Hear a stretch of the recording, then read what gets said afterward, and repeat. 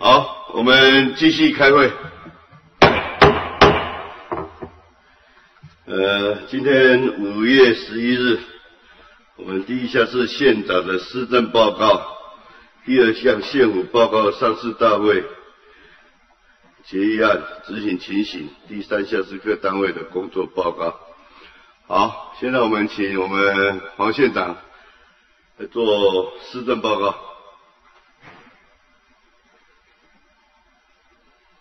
讲三个小时就好了。我会控制。大会主席陈副议长，各位议员先进，各位媒体的朋友，大家早安。今天非常荣幸能够到大会来做啊一百零五年度啊第一次定期会的施政报告。我的施政报告。今天会从宪政的啊十一个大面向来啊分类来做报告啊。那同时今天也帮各位准备了一份呃我的口头报告的书面资料啊，在各位议员的桌子上面啊。呃，你们是彩色版的，我用黑白的就好了，省省一点钱啊。好，第一个是教育。我们刚刚办完了啊，一百零五年全国中等学校运动会啊。这个运动会总共呃的经费是一亿两千五百万啊，全部由教育部来补助。这个是我这一次争取。来办理这次运动会的跟教育部的条件，就是台东县政府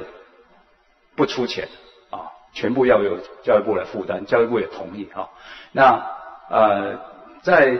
呃四月的二十三到二十八，然后紧接着下来又啊办理全国大专运动会，从二十九到五月四号啊。那这次全中运办理啊非常的成功啊，各界的口碑都非常好。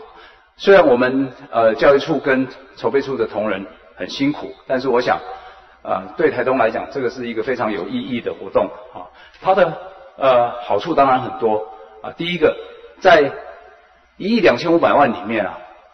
我们用在资本门啊，利用这次的这个办理活动的机会啊，来修缮我们的啊运动场馆的钱，就花了将近四千万。好，各位在画面上看到这个是我们新的这个呃修理过之后的这个田径场啊，包括座椅啊，包括这个看台的座椅啊，包括夜间的照明啊，包括这个呃跑道哈，还有草皮都非常非常的好啊。那第二个是在台东办理，让我们台东的孩子有更多的参与啊，不只是选手，我们这这次的台东的代表队比以前要多一百个人。另外就是我们的孩子参与在那个开幕典礼的这个呃这个表演里面，还有我们很多的台东的孩子可以到各个比赛的场所去担任志工，这些都帮助我们的孩子啊增加他的一些啊这个学习啊见习的这样的机会哈。那另外当然我们啊这个这这两个礼拜的时间哦，给台东的商家。带来非常非常可观的效益，不管食衣住行啊，我想都为台东市区啊很多我们台东的商家业者带来非常多的啊这个买买气啊，那这些都是我啊我想全中医这次办理的啊一些很好的成果。另外我要报告的是啊我们一百零五年的啊校舍的重建啊这个校舍的补强重建一直是我上任之后啊。非常重视的呃一个问题哈，那我们从呃一百零三年开始啊去争取啊慈济啊来协助我们啊援建我们台东的校舍啊，那今年陆陆续续都动工了啊，呃各位在这个表格上面看到的啊，这一次慈济帮助我们的是总共九个学校二十三栋的校舍，总经费。达到六点四亿，达到六点四亿哈，几个呃学校的这个呃工程的这个模拟图示意图啊，在这边也提供给各位议员来参考。我想，如果不是民间的力量这样来协助我们啊，要靠我们自己用公务预算啊来编列这样的六点四亿，可能要花很长很长的时间哈，非常多的呃年度才有办法真正来做到。那也因为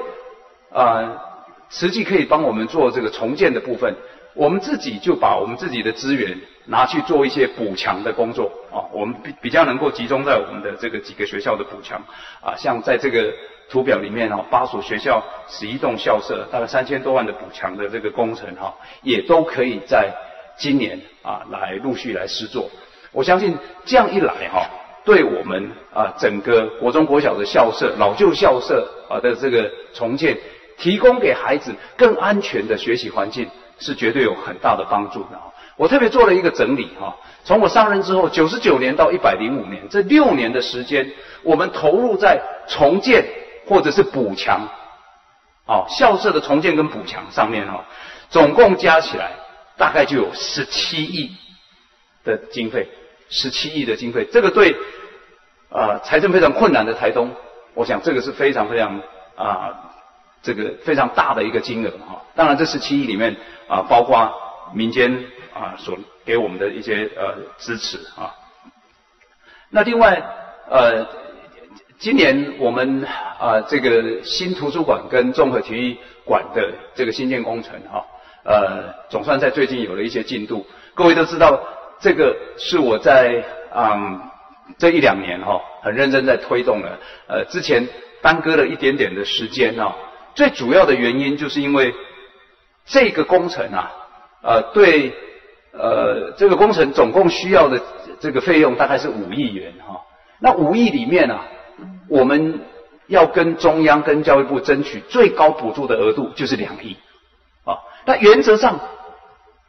原则上教育部也同意这两亿，但是有一个前提，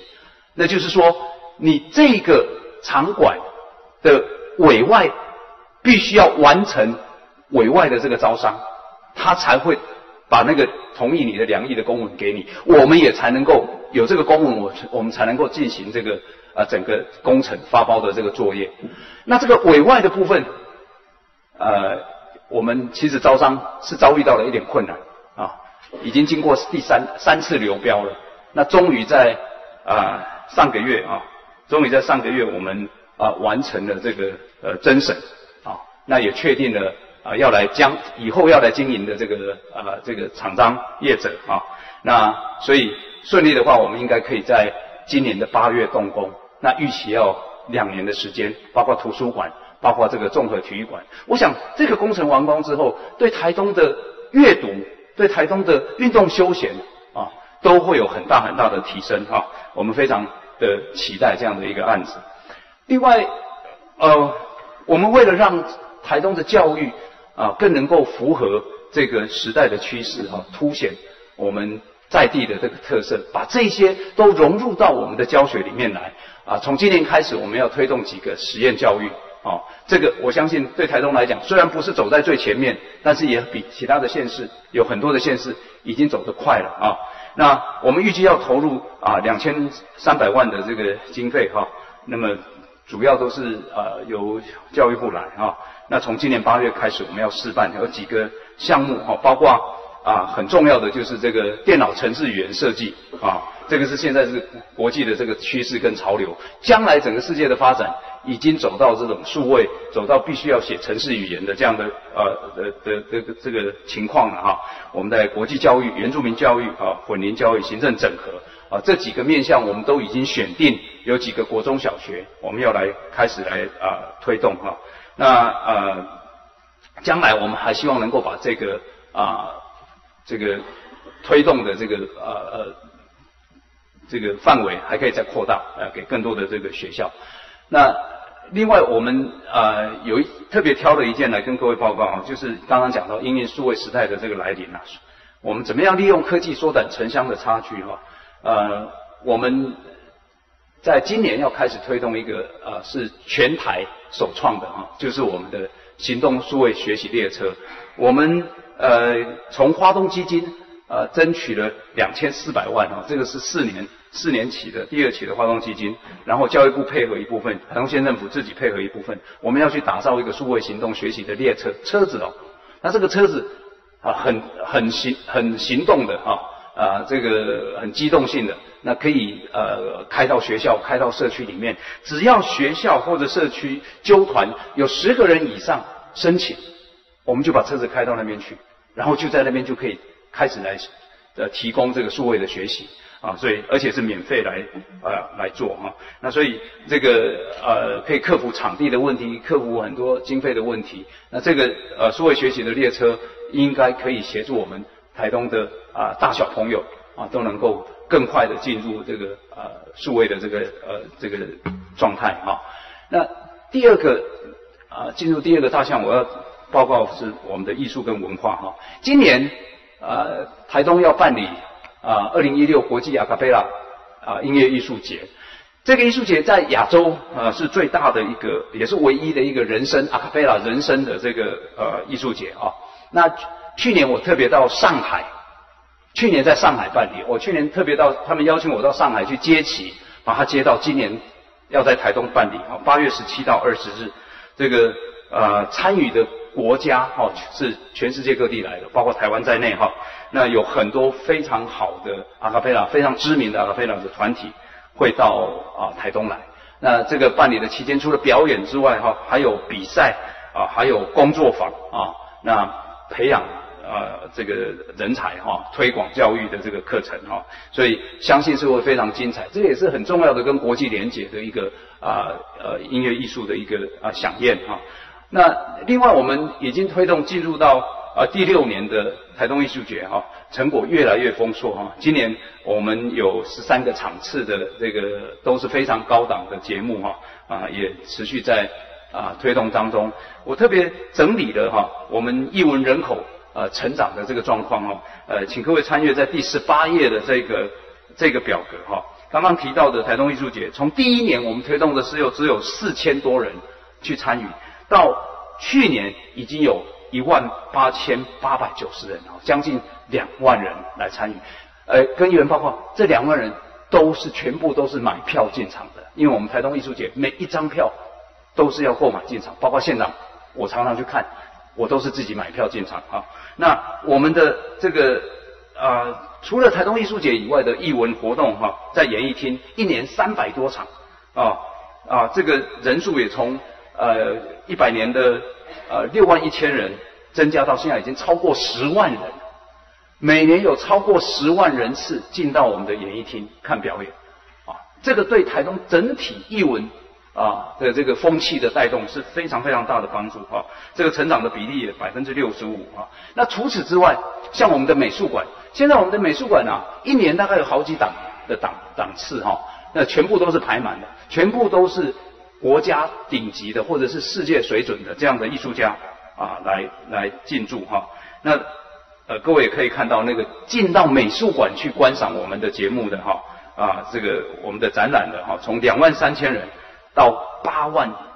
九千人啊哦，这个成长几乎三倍啊。那另外我非常欣慰的，我们的图书馆啊，图书馆的进馆人数啊，从九万多到现在已经有。六十万人次进到图书馆啊啊，这个是五倍以上啊。那借阅的书籍也都不断的在成长，打造台东成为一个充满艺文气息啊、充满阅读风气的这样的一个城市啊，是我们要持续推动努力的。另外，在历史建筑的保护这个上面，我特别要跟啊我们议员来报告哈，我们在东旅对面民台东市民权里这一块哈，我们。呃，经过我们两阶段的努力，在一百零四年七月，我们完成了十三笔土地的这个无偿的拨用啊。那么各位可以看到，就是我们啊，这个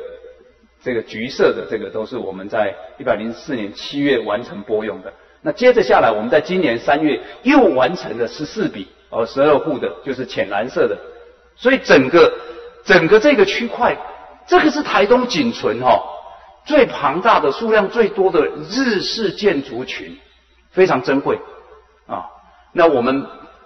台东县政府整个把它从国有财产局的手上全部拨用过来啊，全部拨过来，拨用过来以后怎么办？接着再来就是要开始去修复，要开始去管理维护啊。可是这个部分是很花钱的哈。我先跟各位报告，我们已经完成了一栋日式建筑宿舍，这个就在台东台东女中那个大门的正对面啊，正对面哈。这一栋啊，我们花了六百多万，当然主要是跟也是跟中央文化部争取，跟华东基金争取啊。那这栋完成了这个修缮之后啊。我们现在也准正在啊准备要委托经营，因为整理好之后就是要有人去经营管理，啊，朝着文创的产业这个部分啊去做委托经营。我们预计今年九月啊就可以开始来营运啊，县政府可以收部分的这个租金啊啊等等啊。那呃将来啊我们还陆陆续续希望能够从中央啊争取到经费，一栋一栋。慢慢的来把这个日式建筑群做更好的维护啊修缮管理。另外一个很重要的哈，就是我们八仙洞的这个呃国定遗址。八仙洞从民国九十五年哈就被公告为国定遗址。这个地方是我们台湾唯一一个超过两万七千年的人类遗址在这上面。非常非常珍贵啊，学术价值啊，这这个非常高的旧石器时代的一个遗址。那么它从九十五年被划定为公告为国定遗址之后啊，实际上我们发现里面这些洞穴啊被占用的情形非常的严重。那所以呃，九十五年到现在一百零五年这十年之间呢，嗯。其实一直被视为要排除这些占用是不太可能的任务，啊，但是我们啊非常的坚定的去做这个事情，一直到今年啊，呃，法院判决也是啊确定定验哈，就是我们让我们能够把这个被占用的这个状况啊，全部能够来清理出来排除哈。那现在我们正在做后续的一些作业啊，希望能够让啊这个。这个迁出的这个这个庙室也好啦，这个占用的人也好，都能够呃妥当的来啊被安置哈。那未来啊，这个我们要跟这个东莞处一起来合作哈，怎么样把啊这个地方啊做更好的维护，然后让它的这个这么珍贵的人类遗址的这样的一个古迹，国定古迹啊，能够呈现出来、凸显出来。我相信这个对台东是非常重要的啊，将来。在考古观光啊，这个在呃学术研究上面，都一定要一个非常扮演一个非常重要的角色。那呃我们呃今年又是到了我们两年一次的南岛文化节办理的这个启程了哈。那呃我们南岛文化节啊从两年前开始哦，我们啊。不再是只有几天的活动，我们希望它能够是一个呈现一个带状的啊，所以今年会从六月到十一月。那活动的内容除了呃歌舞啊这些表演之外，我们希望文化艺术的层面，甚至于落实到原住民生活的这个部分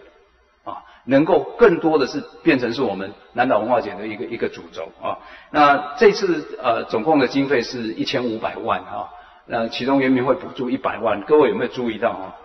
现在。包括圆明会对这样的一个活动的补助，都已经非常的少了。十几年前我们第一次办这个活动的时候，可能圆明会的补助是一两千万啊，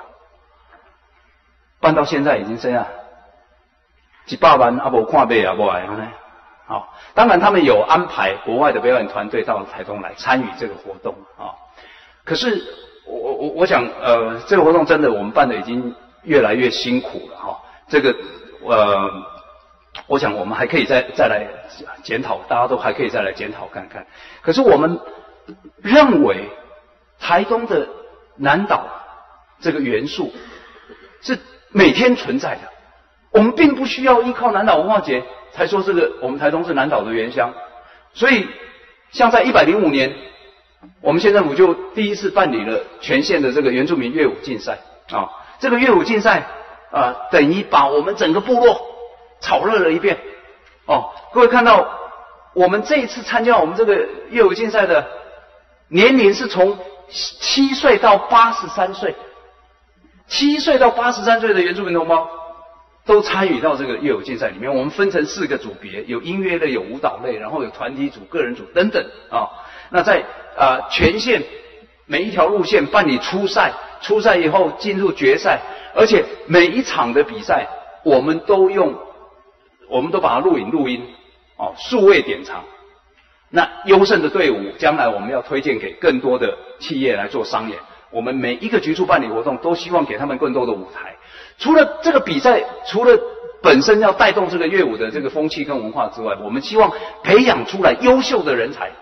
不断的培植优秀的人才，让他们能够在更多的啊这个平台上面啊去展现他们的这个呃这个才华啊。那另外呃我们。跟圆明会争取经费来建制的这个啊原住民文创聚落啊，也已经接近完成了，接近完成了。这个位置就是在啊我们铁花路底原来的台气的那个机修厂那个地方啊，是闲置的空间。但是经过我们啊的这样的一个改造之后，现在非常非常的棒的一个场地啊！我希望在完工的时候，我们有机会带我们议会的呃各位议员啊去那边。啊，实地的在考察啊，那它是将来会是一个我们原住民文创啊文化跟一些文创产业呃创作研习的一个基地啊。我们现在正在招募啊新锐的这个艺术家啊，要驻驻村啊，在那边做创作。将来呃这个我们一般的民众也都可以来参与，里面有最好的设备，里面有很好的空间。我们希望也将来有更很更多的这个师资。啊，来带动。所以，如果我们的文化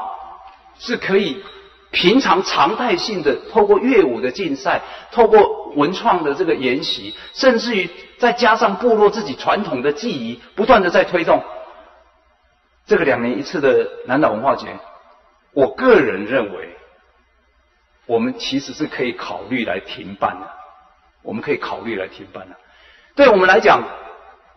每次办理这个要花编列一千多万的经费，对台东县政府是非常庞大的负担。中央已经不太不太支持这个。然后你办的这个活动带来的效益是什么？真正做到文化传承，文化传承不需要靠办活动，文化传承我们常态性的在做啊。所以呃，这是我个人的意见哦。我也在这边抛出来这样的议题。当然啊，这个我们都还可以再讨论。那我觉得这个办理了十几年的南岛文化节，其实是可以考虑啊。给他画一个完美的句点啊！第三个我要进入到观光啊，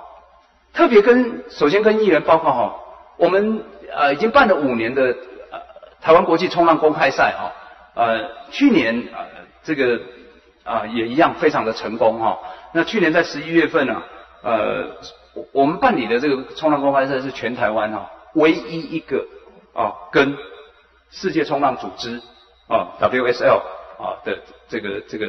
啊连结的一个正式的一个比赛哈啊去年的档档次啊甚至提高到 QS 啊一千五百的这样的一个等级哈那超过十三个国家七百个国际选手来参加多半是日本跟澳洲但是去年也有第一次有秘鲁跟爱尔兰的爱尔兰籍的选手啊那现在这个比赛台东的这个比赛啊都是官网上面直播哈每天都有超过十万人次在观赏啊。所以我相信这个对整个台东的行销是非常有帮助的哈。那总奖金两百万哈，这个也是全台湾奖金最高的、档次最高的啊的一个一个比赛。我们今年还会持续来推动。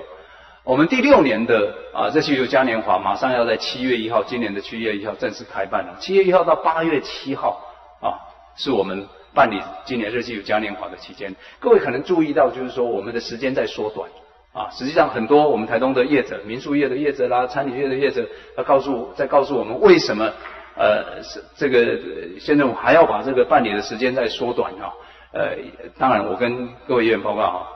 呃，每办一天，我们的负担就要加重啊。那实际上，呃，就算我们办这个呃一个月再多一个礼拜哈啊，这个也是全世界最长的热气球嘉年华。目前全世界最长的热气球嘉年华，除了我们之外，第二长的大概就只有十天了，只有十天。我们台东县政府办的是四十几天的，三十八天的啊。所以啊，它的效益其实已经呃呈现出来了。第二个就是说，我们现在已经有常态性的热气球的飞行啊，这个是由天际航空在经营。所以实际上我们要回归到正轨，就是嘉年华渐渐的要缩短，但是我们常态性的要让它越来越做越好。那另外，我们从去年开始，我们把我们的光雕音乐会非常吸引客人的光雕音乐会，我们开始下乡去了，到太马里，到这个这池上啊，到海线、成功都去了。那今年收到很好的效果，所以今年我们会持续这样做。哦，今年我们持续下乡啊，也带动乡镇的这个这个观光产业，然后大家一起能够啊享受到参与到这个呃热气球所带来的这个盛况啊。台东呃也现在变成是呃这个运动休闲产业一个呃最大家最向往的地方。光是我们的铁人三项的比赛，今年大型的铁人三项比赛，我们台东就要办理七场，七个场次，哦。有国际的，像 Iron Man，像 Challenge Family，刚刚上个礼拜 Challenge Family 才刚刚办完，Challenge Family 这一场啊，选手数就两千人，而且这些铁人带着家人来哈，他参加比赛之后就在这边度假消费，对我们台东的呃市区啊，特别是市区的这个观光啊产业啊，有非常非常大的帮助啊。但是我们一直觉得，呃，台中的观光旅游业啊，呃，要更多的来接轨国际市场。我们的这个旅客的这个组合啊，我们觉得国际观光客这个部分需要再成长，需要再成长，所以我们到啊国外去开拓我们的这个旅游市场啊的这这样的一个呃呃动作哈啊要持续来加强，但是我们也必须要锁定目标市场，哦，这个拓展国际观光客并不是散弹打鸟，我们的资源有限。啊，我们甚至于每年能够编列出去做国外推销旅展的这样的经费，其实是有限的。啊，所以我们必须要锁定我们的呃目标的这个客群。啊，是有比较有机会到我们台东来的，所以我们去分析啊，从不管从观光局的统计啊，不管从这个我们自己的呃目标市场的这个这个策略啊，我们最后我们归纳哈，大概我们要锁定的市场其实很简单。就是日本、韩国、新加坡、马来西亚，啊，然后这个香港、港澳、港澳、新马、日韩，啊，再加上这个中国大陆的这个自由行的客人，那个都是我值得我们去强力去推展的一个一个客群。我们未来我们也持续要往这个方向啊再去努力。我们来看看这几年我们啊观光产业。在台东所带来的这个效益啊，在第三十一页的这个表格上面啊，各位可以看到我们的饭店的房间数。我现在这边所说的饭店啊，是不包含民宿，然后也不包含观光旅馆，这个是一般旅馆啊。观光旅馆就是跟观光局申请的啊，像台东的话，大概就是纳鲁湾啊、日辉啦、资本老爷啊，其他的。是跟地方政府跟我们申请的这些旅馆啊，它的房间数从九十八年我上任的时候是四千两百八十四个房间，到去年底啊已经成长到六千啊两百零七个房间，所以它的成长率是百分之四十五。那住客的人数，住房的住客的人数从这个啊七万七十一万人啊七十一万人到两百四十二万。哦，两百四十三万啊啊！不要忘了这个时间这一段，同样这段时间，我们的民宿成长的比饭店还要快啊啊！所以在民宿吸走很多客人的情况之下，哈啊啊！啊一百零四年两百四十六万人哈，所以它的九十八年到一百零四年的成长是百分之两百四十二啊，就是成长了两倍多。那么住房率。从原来的百分之三十二，到一百零四年是百分之五十七，啊，也就是说，其实它虽然房间数增加了，它的住房率是增加的，住房率还提高这么多，啊，因为为什么？游客多了，游客多了啊，那它的餐饮收入啊，也从一点七五亿成长到四点五九亿，啊，这个也是成长了百分之一百六十二啊。另外一个很重要的，这一些饭店用的员工从九千多人到现在已经两万一千多人，而且我相信这个市场现在还非常非常的缺工，还在继续在在找更多的员工进来，所以他对整体台东的这个啊商家的营业额也好，对就业的这个创造也好啊，都有很大的帮助啊。那讲到商家营业额哈，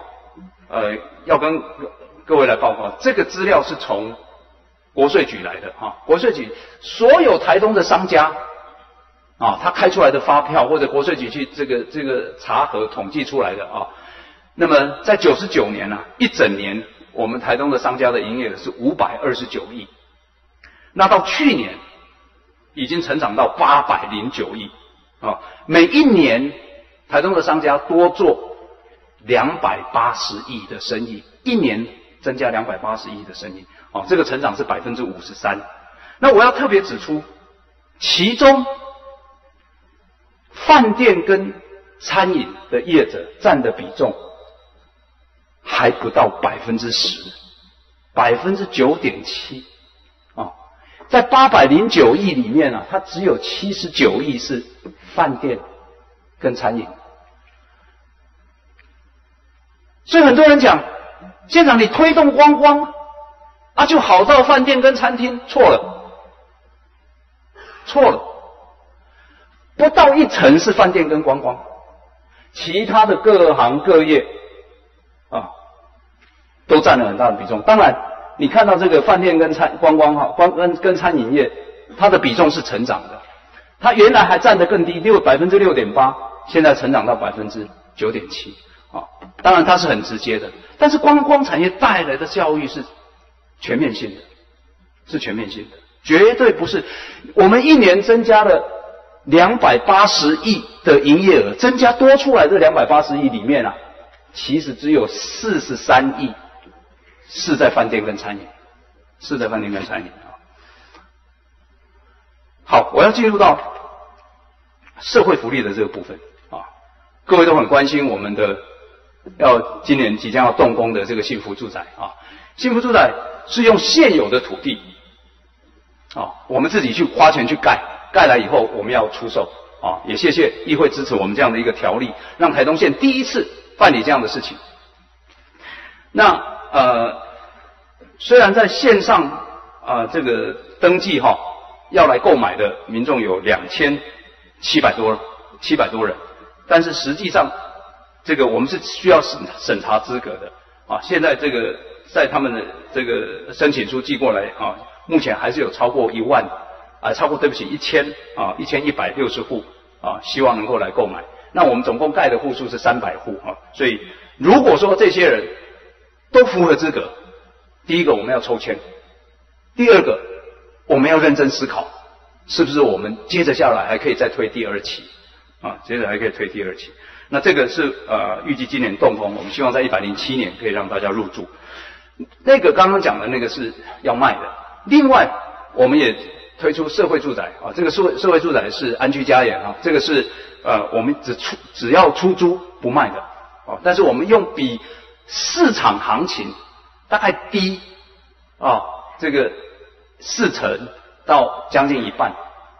的这样的价价位来提供给我们。啊，比较需要我们帮助的这些我们台东的乡亲啊，我们总共要花啊，目前呃规划是一点八亿哈，那么在要新建四十一户啊，那呃这个也是希望能够在今年完成设计动工啊，一百零七年能够入住啊，这个是我们在呃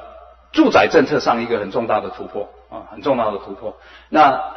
这个呃社会住宅我们只租啊。不卖，而且我们设定在长期，不是长期要让他居住的，是过渡时期啊。一旦他自己这个在在这段时间培养了自己的经济能力之后，我们希望他可以离开，然后把这个空间让出来给其他需要的人。我们有一个啊。社福的方案叫做巨福食堂，这个是我们从去年十一月开始推动的哈，特别利用这个机会跟议员们报告。我觉得这个是非常有意义的一件事情，就是我们请社区自己来提出申请，让社区自己找地方，然后让社区的妈妈自己去采购食物，然后去烹调，每天礼拜一到五的中餐煮给我们社区的老人来吃。社区的老人自己社区来照顾，政府做什么？我们帮助他采购设备，哦，这些厨房的用具啊，什么等等的。然后呢，我们来帮助他初期，我们帮助一段时间的这个这个食材的这个费用经费，啊，那就未来长远，我们希望他可以自给自足，啊，所以可以自给自足。那这个呃，目前在台东三个社区在推动，啊，有三个社区已经在进行了，啊，一个是资本跟卡地布，啊，他们呃，这个这个没。不同的时间点轮流啊，然后一个是丰田社区，一个是多良社区。我那一天呃特别到丰田去看，吃吃的很好啊，吃的很好，真的。而且，与其老人自己在家吃，把大家聚集起来吃。有时候他们聚集的时候，我们还派医护人员去帮他们量血压啦，去他们做一些宣导啦，不要随便听垃圾油就欧北北北油啊啦这种的哈。我们都可以利用这样的机会去做很很多的宣导啊，所以这个巨幅市场，我们希望能够更扩大来推广。当然，议员在你的选区里面认为有这样的社区，也可以来申请啊。这个就是这个关键，就是社区社区自己要有人，他愿意主动来提出来啊。那呃，其实我们一直不停的在打造我们全县的家庭的照护网啊啊，不管是公司立。呃，托育资源中心啊，这个托婴中心啊，家庭福利服务中心啊啊，各位可以看到啊，这个网络啊已经越来越多了啊，越来越密了啊。我们关怀老人的呃社区关怀据点啊，或者是我们的部落文化健康站啊，整个加起来，它那个涵盖率哈，在每一个圈圈里面的那个数字啊，就是在那个在那个乡镇在那个地区的的据点的数目。啊，所以其实这整个加起来，我们全国的涵盖率啊，我们全县的人口的这个涵盖率已经到达百分之八十五，百分之八十五是全国第二高的啊。我我们实际上是在这个部分的呃社福的工作推动的非常的呃，不不能说尽善尽美，但是我觉得已经相较来讲，我们是推动的很好的。另外，从去年开始，我们在推动台东县的食物银行。食物银行，民间把吃的东西或者是生活用品物资捐出来，然后由我们来整理集中起来，有分类整理以后，我们派送出去给需要的人。哦，这个食物银行去年我们自己做一部分，然后我们也跟一个民间的机构啊来补助他做一部分。啊，各位可以看到，在去年呃，我们已经受益的人数哈，已经有三千。三百二十八的人次啊，户数是一千多户啊，这个比较弱势的这些家庭啊，能够得到我们的帮助。我们觉得今年我们啊还要扩大来办理，扩大来办理啊。那这个架构呢，大概基本上就是由县府啊做一个这个这个啊总部一样哈，然后我们分配到各个乡镇市公所啊，家庭福利服务中心。另外，甚至于透过社府的这个这个网络啊，一方面他们把需求报进来，那一方面我们把这个物资派送出去。由如果说县政府是总行啊，这些就是分行啊，由分行来发送给哦我们需要的民众啊。那哦，我们相信今年我们这样子投入更多的资源扩大来做啊，应该可以达到更好的这个照顾的这个效益。啊，第五个我要进入到环境。讲到环境，大家都可能最关心的就是我们垃圾的问题啊，垃圾的这个危机，我们到目前为止啊，我们怎么样来面对啊这个垃圾的困境？实际上，我们做的大概有下列这这几种啊。第一个，我们还是持续在寻求外县市来代烧啊。那最近大家注意到媒体上面讲到哈，高雄市啊，应该预计是在六月一号开始哈，可以重新再帮我们烧啊，每天五十吨的五十吨的垃圾。我们现在每天大概制造一百二十吨左右啊，那五十吨的接近一半这样的垃圾，高雄市愿意帮我们处理，啊，那可能可可能各位会问，那为什么之前又说不烧，现在又愿意烧？之前不烧是高雄市议会决决议，高雄市议会决议说你们台东自己有焚化厂，干嘛你们摆着不烧，然后非得把你们的垃圾拿到我们高雄来烧？所以市议会决议交高雄市政府说不准帮台东烧，啊，那现在我们去说服他，啊，其实环保环保署。也帮助我们去协调，啊，然后去去这经过这段时间的努力啊，大概高雄市环保局现在有条件的答应我们，这个条件是什么呢？就是说，你们实际上未来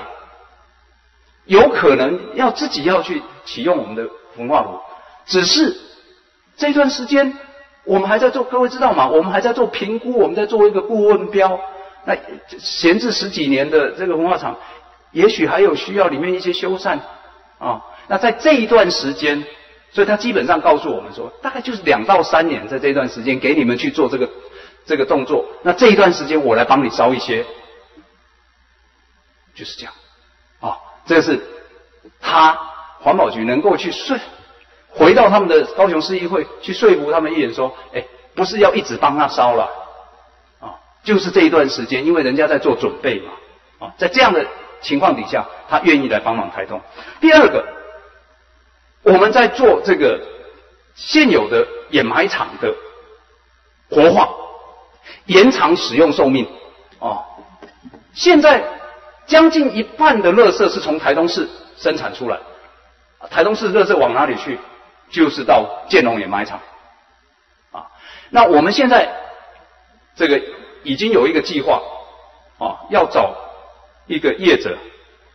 就针对我们几年前埋的垃圾，几年前埋的垃圾挖出来，因为各位都知道，几年前哦，垃圾分类没有那么彻底，资源回收没有做的那么彻底，很多过去埋的垃圾里面，实际上还有瓶瓶罐罐，可能还有金属。那能够腐化的大概都已经腐化了，啊，可能里面就剩下塑胶、塑胶袋等等的。如果我们把这种这些垃圾很久的垃圾挖出来以后，再去重新做一次分类，啊，已经腐化成土壤的土壤拿去再利用，然后那些石头啊瓶瓶罐罐的清出来以后，我们认为那个挖出来的垃圾哈，真正经过这样子再分类之后啊，剩下来的比例应该很低了。可能在两层到三层，啊，那其他的空间就空出来了。其他空间空出来以后，我们就可以把新的垃圾再放进去放，拿进去放。这样子一来，就可以延长我们这个焚化厂的使用的寿命，也可以帮助我们暂时减缓这个垃圾没地方去的这种压力。哦，如果这个方法做得好，我们现在已经有一个计划，三千万要先从建龙掩埋场开始做起。假如这个方法做得好，那各位。我们这这样的一个厂是可以巡回到前线所有的掩埋场，只要旧的掩埋场，哦，我们认为判定这个可能是过去分类分的没有很好的，我们都可以用这个方式去操作，旧的挖出来，让新的垃圾可以进去。这个也是我们这段时间努力在寻求解决方案其中的一个啊。当然啊，落落实落实垃圾的减量，从源头就要把垃圾减少。这个是很重要的啊，这个是很重要的。源头如果能乐色减少，后端要去处理的就会少，压力就会变少。所以我们持续在推动这个破袋稽查啦，要该罚就要罚，然后这个啊学校机关带头啊，然后各种的宣传啊讲座啊，深耕环保的教育，然后我们的焚化厂啊像转型这个认证，今年。预约要去参观我们的环境教育中心，设在红化厂的环境教育中心，到目前为止已经有五千多人登记，啊，要去那边接受环境教育的这个概念，这个是非常重要的。如果我们能够从孩子们开始去教育他说，从小你就养成这种习惯、这种观念，垃圾是要分类、是要减量的，我相信这个是未来我们看得到成效。因为我们日现在看到先进国家，在欧洲，甚至于在日本。这样的环境教育都已经做了二三十年、三四十年了。现在三四十岁的人从小就接受这样的环境教育，他们当然觉得我们乐色分类减量是自然而然的啊。另外，最后当然就是我们的焚化厂的这个可行性的评估还正在进行当中。我特别要跟各位报告，这个可行性评估最后的结果不代表我们一定会启用，不代表我们一定会启用。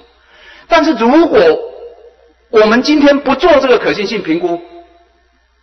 如果我们今天不做这个可行性评估，摆明了我们不用它，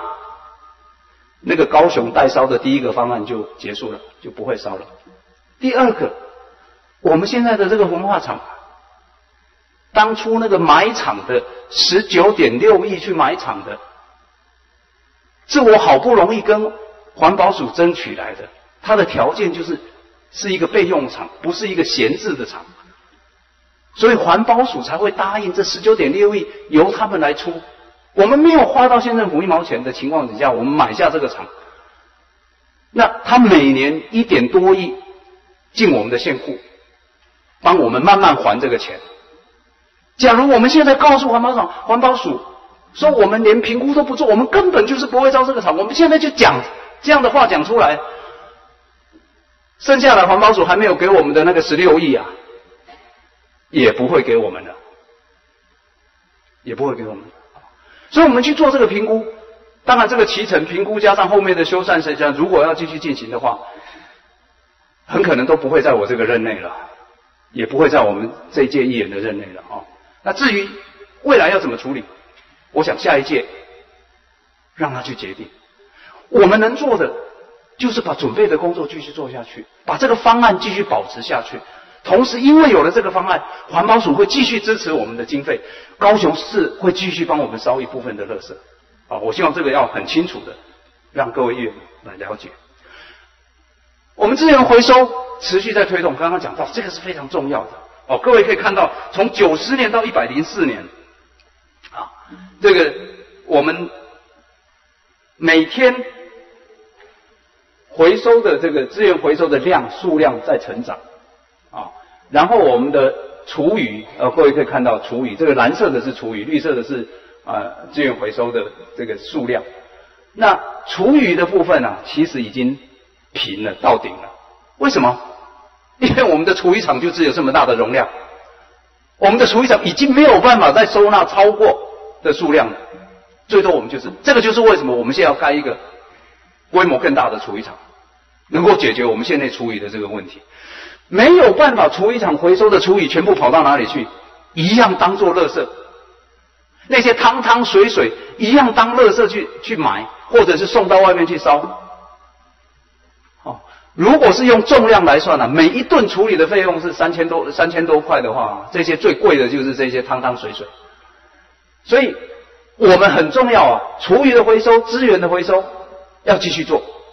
现在我们大家看到我们红色的这条线是我们的资源回收的比例啊，我们从以前的呃百分之十三到现在成长到百分之三十八点几啊，这样的成长是得奖的，是环保署给我们很多的肯定的。但是还有没有进步的空间？当然有，因为全国现在的资源回收率平均是百分之四十六啊。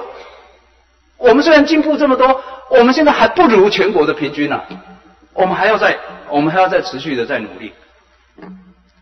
啊，那这个就是刚刚讲到的哈，建农卫生掩埋场啊，这个活化的工程啊，这个我们会希望能够持续来推动啊。延长寿命。第二个，我要进入到从垃圾进入到我们的污水啊，这个污水处理厂啊，过去台东是零呐啊，那之前我们呃做了资本地区啊，资本地区，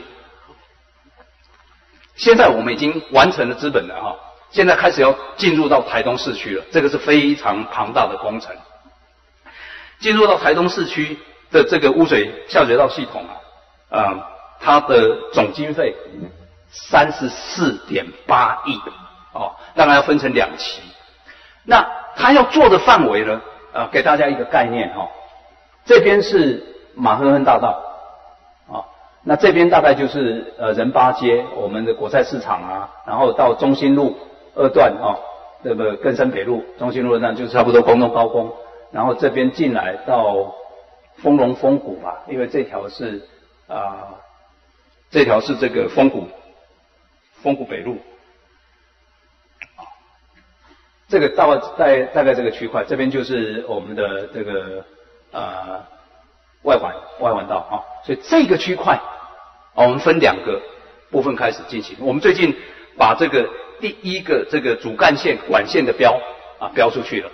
标出去了。然后我们的污水处理厂设置在这一带哈，这个污水处理厂啊的主要的这个还在修正计划当中啊，这个推动下去以后啊，台东加资本。的污水处理的普及率，总算我们就可以达到百分之二十七，好，从零到二十七，啊，这个我们必须承认，台中这个上面在这个上面是落后的，这个事情越晚做，对环境当然的伤害就越大，我们要保护我们的环境，我们这污水的处理，现在如果不做这个这个污水处理啊，一般的家庭废弃的这个水就是排出来到河川，进入到大海，啊，这个。是需要赶快来进行的哦，我们都在很认真的在推动当中。那接着下来讲完水哦，我要讲空气哈。空气是我们台东的本钱啊，是我们台东本钱。但是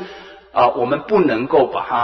啊视为当然，我们还是要很认真的去做一些管理啊。那其中几个这个污染源哈啊，大概有哦。分成几类了，固定的就是说工厂啊、砂石厂啊、混混凝土厂啊、混凝土厂的锅炉的使用的这个重油，这个是固定的。另外是移动的，机车、汽车、柴油车排放废气，这个是移动的。哦，第三种是说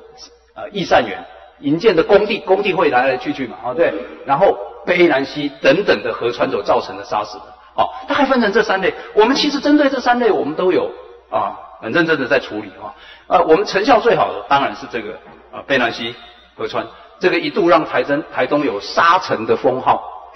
但是各位经过我们用这种呃自然的功法去处理过之后，你看这张照片哦，这个一格一格的，这个这个照片我觉得拍的很好啊。那么都是我们啊长期派驻怪手在那边啊啊在那边维护。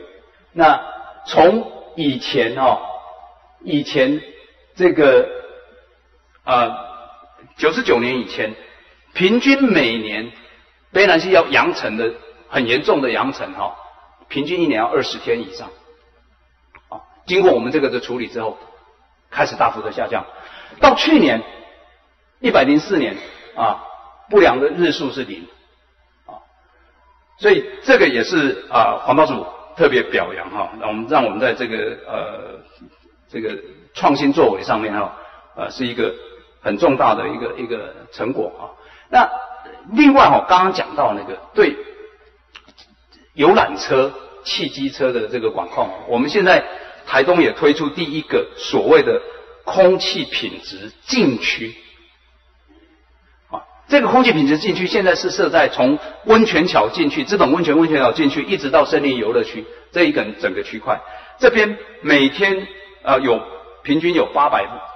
八十部到一百部的这个。大型的游览车进出，所以我们会在那边设站，然后去开始去检测所有的游览车。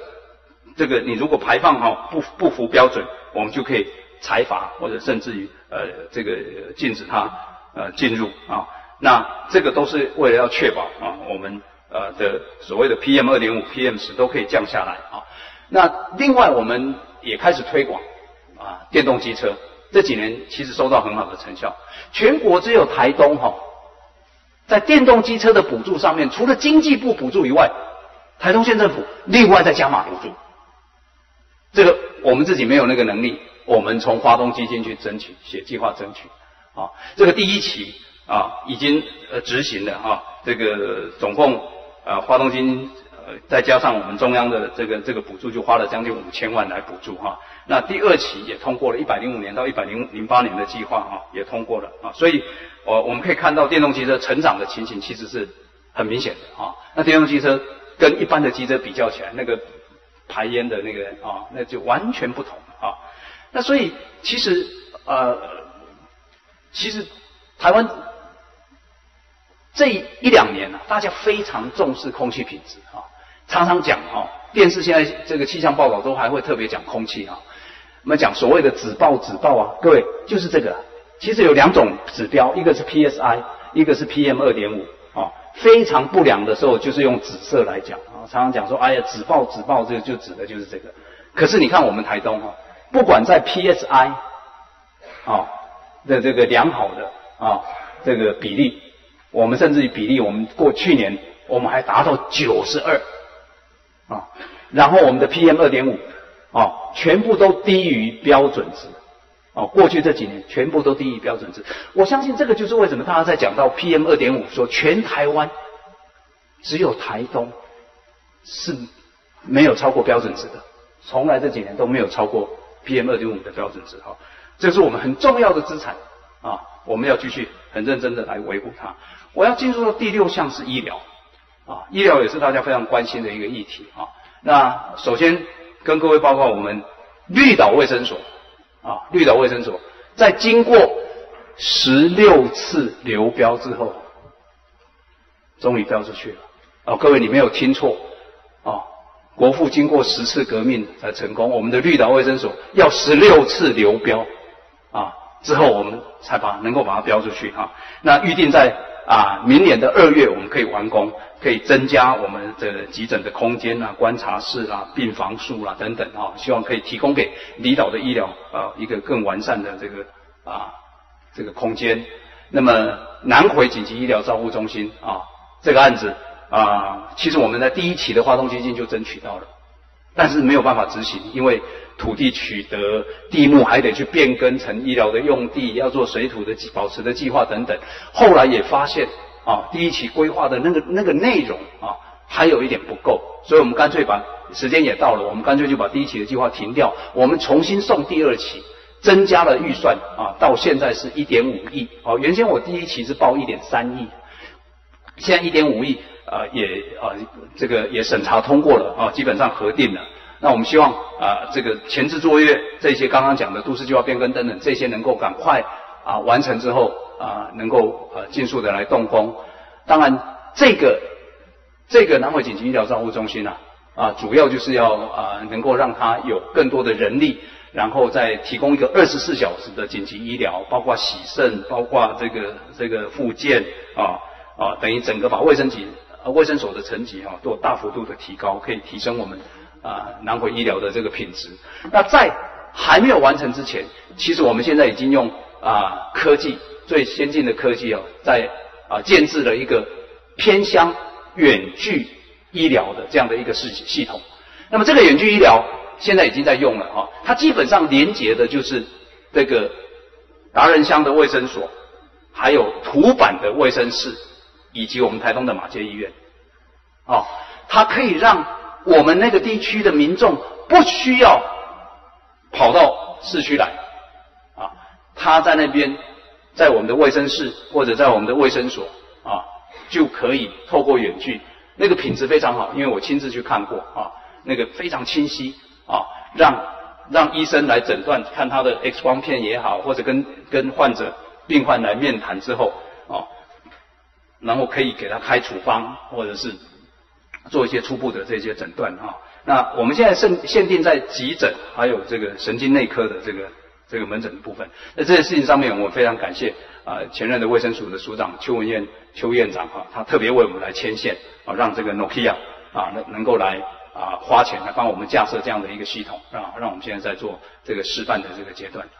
啊。那整个提升台中的医疗品质上面啊，我们当然。这是一个啊呃长时间的这个抗战了哈。那我们呃从中央呃争取了三亿多的经费哈，这个是卫福部的钱哈。呃所谓的医疗照护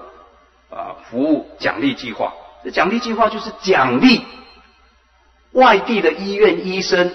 来支援我们台东的医疗院所。好，所以在第五十四页的这个。表格上面各位可以看到哦，有哪些科别啊？分别从哪些外地的医院来支支援我们台东的医院啊？你看到有妇产科、儿科、心脏内科、急诊、眼科、骨科、神经内科啊等等的啊。那这些费用，他们来支持我们的这些费用是由呃卫福部啊来支援我们。那另外我们台东县内的医院也互相支援。这个是很重要的，现在的医院互相支援，这个很重要的哈。透过不同的计划互相支援，在五十五编号五十五的这个表格上面，各位可以看到哈，哪些医院啊这个接受资源，接受哪些医院的资源，在什么样的科别里面哦？我想整个这样来做，会让台东整体的这个医疗资源是可以啊做更有效的运用跟提升。当然，台东民众长期对医疗不满哈，呃，其实除了这个偏乡的医疗医生、护士啊，医疗资源比较不够之外，另外一个就是台东医院，台东的医院针对比较重大的这个病症没有办法在地处理，会跟会跟我们的患者讲说啊，潘谁，要不然这个请你转院到别的地方去。这个我觉得是给台东人感觉到，就是说这样的医疗是不够的。所以在这个部分，我们也是我们另外一个要非常努力加强的地方啊。那马街的这个恩典楼，就是我们的呃急重症啊新的这个急重症医疗大楼，是我们张局长张冠宇局长在当院长的时候啊努力推动的。一百零三年启用以来哈，其实已经看到成果。哦，各位，我要看让你看这个表哈，它因为恩典楼之后啊，不管在医师数、护理人员、病房、普通病房或者是 ICU 啊，这个这个加护病房的病床数，全部都有提升。啊，各位看到，其实马街对啊台东医疗的这个这个重要性啊，你看它的病床数占所有台东的病床一半以上，它的急诊的。干占的更多，占百分之六十八、六十九，哦，都在马街，啊，很重要。那现在要看的是什么？因为这个恩典楼启用了一百零三年启用，到一百零四年，只有一年的时间呢。转诊的转院的次数已经大幅下降了。哦，过去可能因为病床不够，必须要转院的五十一、五十一个这个个案到三十五。因为急诊的病房不够的，从以前有四十五，现在我们急诊就基本降到七个。专科因为没有这样的专科医师，必须要转的八十七降到四十。设备不足，从百分之五十，哎，从五十个个案降到十一个。哦，总数啊，一百零三年被马街要求说你要转院了，有两百三十三个个案。到一百零四年已经降到九十三个，啊，这个降幅是百分之六十，啊，当然九十三个，我们希望还可以再继续降，尤其是各位看到这个专科人力的这个能量还是有四十个，病床满不够还是有三十五个，这两个都还有很多在降的空间。为什么病床？会不够用，其实有时候不是真的病床哎，是护士不够哎，因为要有实要有病床，就是要有护士才有才那个病床才是有效的病床啊啊，那专科医师，所以其实我们来看这样的一个图啊，看这些数字啊，我们发现还是医生护士的人力，哦，这个也是台东长期以来其实一直在面对的问题啊。怎么样吸引更多的医生护士愿意到台东来服务？这个一方面跟台东整体的发展、整体经济的改善啊、整体居住环境的改善都有绝对的关系。我们相信我们未来在这上面啊，应该还可以再更好。最后我要讲到啊呃这个这个第七点啊，公共安全。那公共安全啊，我们呃要先报告我们。呃，台东现在也有一支这个救生犬，呃，搜救犬的这个部队了哈。呃，在今年二月四号成军之后啊，二月六号就马上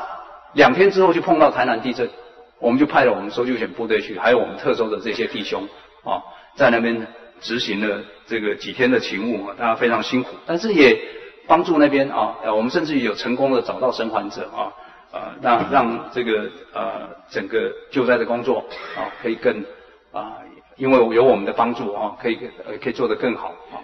那呃，我在怎么样强化整个台东县的救灾的这个网络上面啊？其实这几年投入了非常多的人力跟物力啊。那各位可以看到啊，这个是我们啊已经完成哦这几年我上任之后已经完成的的新增加出来的这个分队啊，包括力道分队啊、蓝雨分队啊啊，然后包括金峰啊，这个跟啊达人啊等等啊，那接着下来这个是我们还要继续推动的，还要继续推动的啊，太原、都兰啊。然后这个啊，各位可以看到最底端的那个隧道口啊，这个搭配我们南回的这个隧道工程哈，我们的这个要建制的这个分队啊。然后我们另外我们的高级救护队啊，高级救护队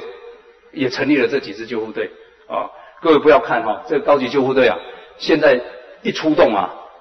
上面的我们的 EMPT 的人员啊，都可以做急救，可以用药。可以做紧急的处理。那因为有这几个高级救护队协助了我们很多偏乡啊，原本医院比较不够的地方，或者是在第一时间到院前的处理。啊，在他事发的状况跟送到医院，在这段时间，其实靠的就是我们这个高级救护队。那我们的急救率、急救的成功率，从以前百分之五，现在已经快要百分之二十了，四倍，四倍哦，这个。因为有这些高级救护队，成功救活了很多很多的人。我们还会继续加强啊！另外，我们在治安上面啊啊，其实台东前几个月这段时间，突然之间发生很多的所谓的社会瞩目的这些这些刑事案件啊，包括啊这个东大的学生被挟持、人质的这个这挟持的这个案件啊，安非他命这个贩卖的这个集团的啦。啊，这个这个重力啊，地下钱庄重力暴力啊，恐吓讨债的啊，啊，马街医院旁边啊发生一个掳人的这个呃随机掳人强盗案的啊，等等啊，啊，我非常感谢我们警察局的同仁啊，都可以很迅速的来侦破这些案件，啊啊，包括一个什么断掌的那个事件呐，这些对台东人来讲啊，这可能对外地来讲这个。稀松平常，但对台东来讲，这些算是重大瞩目的案件，哦，会造成我们台东人，呃，这个这个人心惶惶，我们都可以在最快的速度啊来侦破。所以各位看到我们其实我们的破案率啊，在这个底下的这个表格上面哈，红色就是台东的这个啊全班刑案的这个破获率啊，从啊九十五年的百分之八十三点八啊，现在到已经成长到一百零一点六了。啊，因为连以前年度的也顺便破，有时候侦破一件案件的时候，连其他的也一起侦破，所以它的破案率甚至于超过一百，甚至于超过百分之百啊。那也一直都高过全国的平均啊。底下的那条蓝色的线就是全国的平均啊。那呃，我们另外我们在推动解酒啊，然后啊降低我们啊车祸肇事死亡的这个数字上面，我们也看到这个曲线啊一直在往下掉。啊，尤其今年，呃，去年一百零四年，我们还得到交通部的这个金安奖啊，金安奖这个很不容易了哈。我们九十五年一年因为交通事故死亡的哈，有七十五个人啊，到一百零四年已经降低到四十一个人，四十一个人。啊，我们希望还要继续再降啊，我们还要继续努力。啊，这个跟交通就有关系了哈，我们就进入到第八项的交通哈。富冈港交通船啊，这个码头的改善工程啊。这个是我们台东县政府经过五年的努力，不断的争取计划修改啦、委员评啦、看啊是这个效益的评估什么等等，不断的争取。五年之后，我们终于在今年，我们正式获得呃行政院的同意啊，第一期的工程七亿一千多万啊，七亿一千多万啊，已经核定下来。那啊，我我觉得这个我以前也跟各位报告过哈，最主要的就是有颜色的这个地方是我们要做的。我们要新做一个，外面要新做一个堤防，啊，这边要把现在是海，要把它填起来，然后可以增加这边码头两边的这个停靠的啊。所以前一阵子，呃，这个呃，这个渔民透过渔会在讲啊，这个哇，里面停泊的空间不够啊，妨碍到他们出海作业啊，什么等等，的确是不够，的确是不够，因为以前的这个渔港啊。现在又要肩负交通港，我们海巡的船也要在这边停靠，不然你叫他去哪里？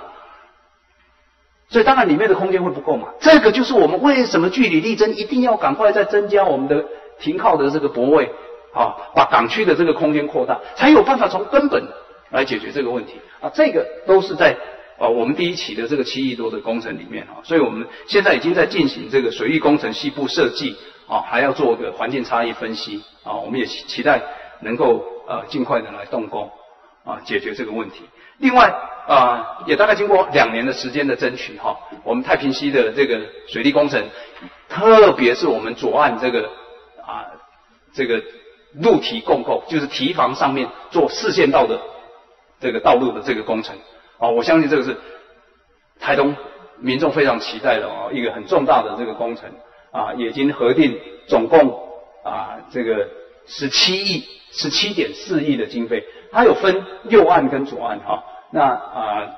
各位可以看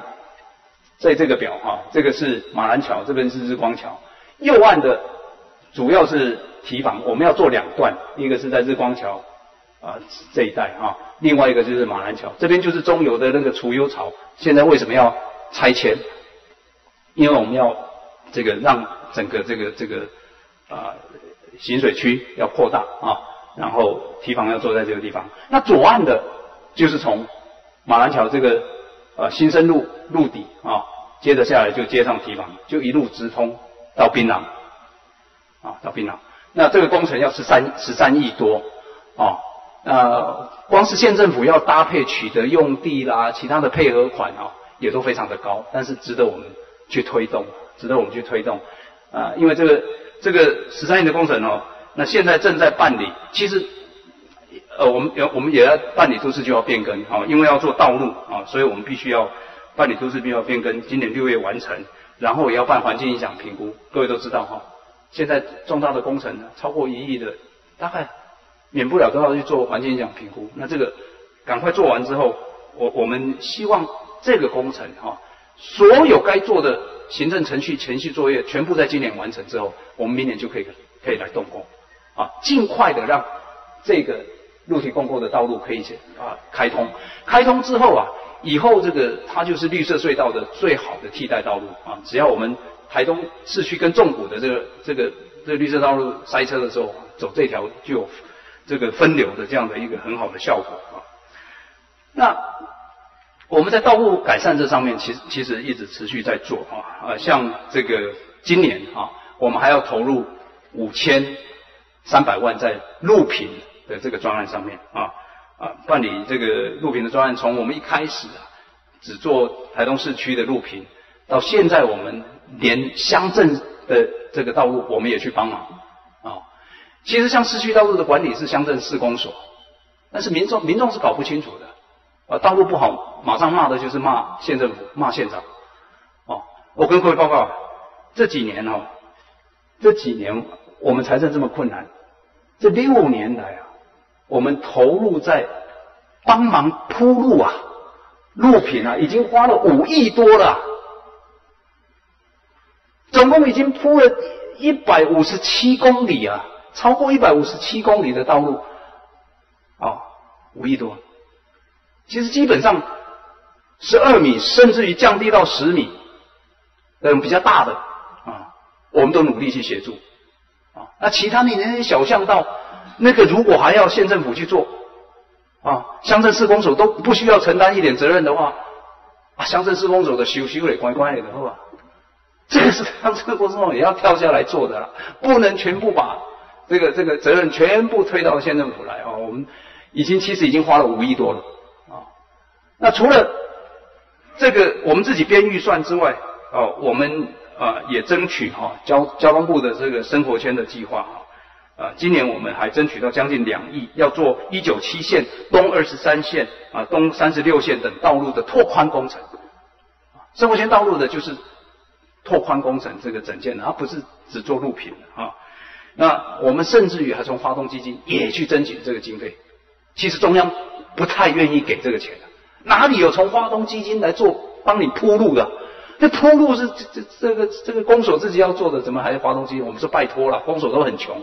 啊，还想办法再去争取到一些经费来做路品啊，这些我们都持续在努力。所以其实六年来，在路平上刚刚讲已经花了五亿多，然后生活圈道路也争取了六亿多，去改善一些啊县道、乡道等等的。哦，我们看到这个是，当然真的了，啊，铺过以后的那个，那个走走起来就舒服很多哈。你看到这个是中华路啊，在啊这个这个中华路在汉阳南路那一带的啊，有铺过跟没有铺过的，这个是桂林北啊，这桂林北也是配合我们这次全中运啊，就把这个周边的道路也做一个维护，当然。连外交通是啊，呃，我们议员很关心的南回公路的拓宽工程啊，各位议员也也在之前也也组团去现场啊考察过哈。我在这边跟各位再做一点点这个进度的这个报告了哈。呃，香兰香兰到金轮的这一段哈啊，总共二十八点四亿，今年九月就可以完工了，九月就完工了。那完工它就可以先通车了嘛。它不用整到整条线啊完工。那另外，金轮一直到大鸟的这个也大概二十二点五亿哈，这个明年四月会完工，明年四月完工。我们现在再去走，都看到陆陆续续都一直看到那个进度都出来了啊，不管是拓宽的，或者是要截弯曲直做那个高架的桥梁的哈，大概都看到那个进度啊啊。那另外最关键最关键的。还是这个隧道工程，隧道跟桥梁的工程。刚刚讲那两段，一个二十八亿，一个二十二亿，加起来不过五十亿，对不对？在这里啊，在这里，呃，一个桥梁的就四十一亿，另外一个隧道的就五十四亿，所以这边九十五亿接近一百亿，都在这个隧道工程上面。我们去看的那个隧道口，大概就是在这里了啊，隧道口，从隧道口一直到安硕。这个是桥梁高架桥梁的工程，隧道口往南到草埔，这个是隧道的工程啊，隧道的工程也是整个南回拓宽截弯曲直工程里面困难度最高。如果说没有办法在一百零六年底又或一百零七年初完工，大概就会是因为这个隧道，隧道里面的变数是最大的。那我要跟各位讲的是，你看哦，你看这个图啊，从草埔到安硕，如果这个打通了之后，你看这是不是路是不是很直的？那原来的路在哪里？原来的路旁边这条弯弯曲曲的这条，这边就是最难走的路。这条路啊，原来的路在这一段这样是十六公里啊，十六公里，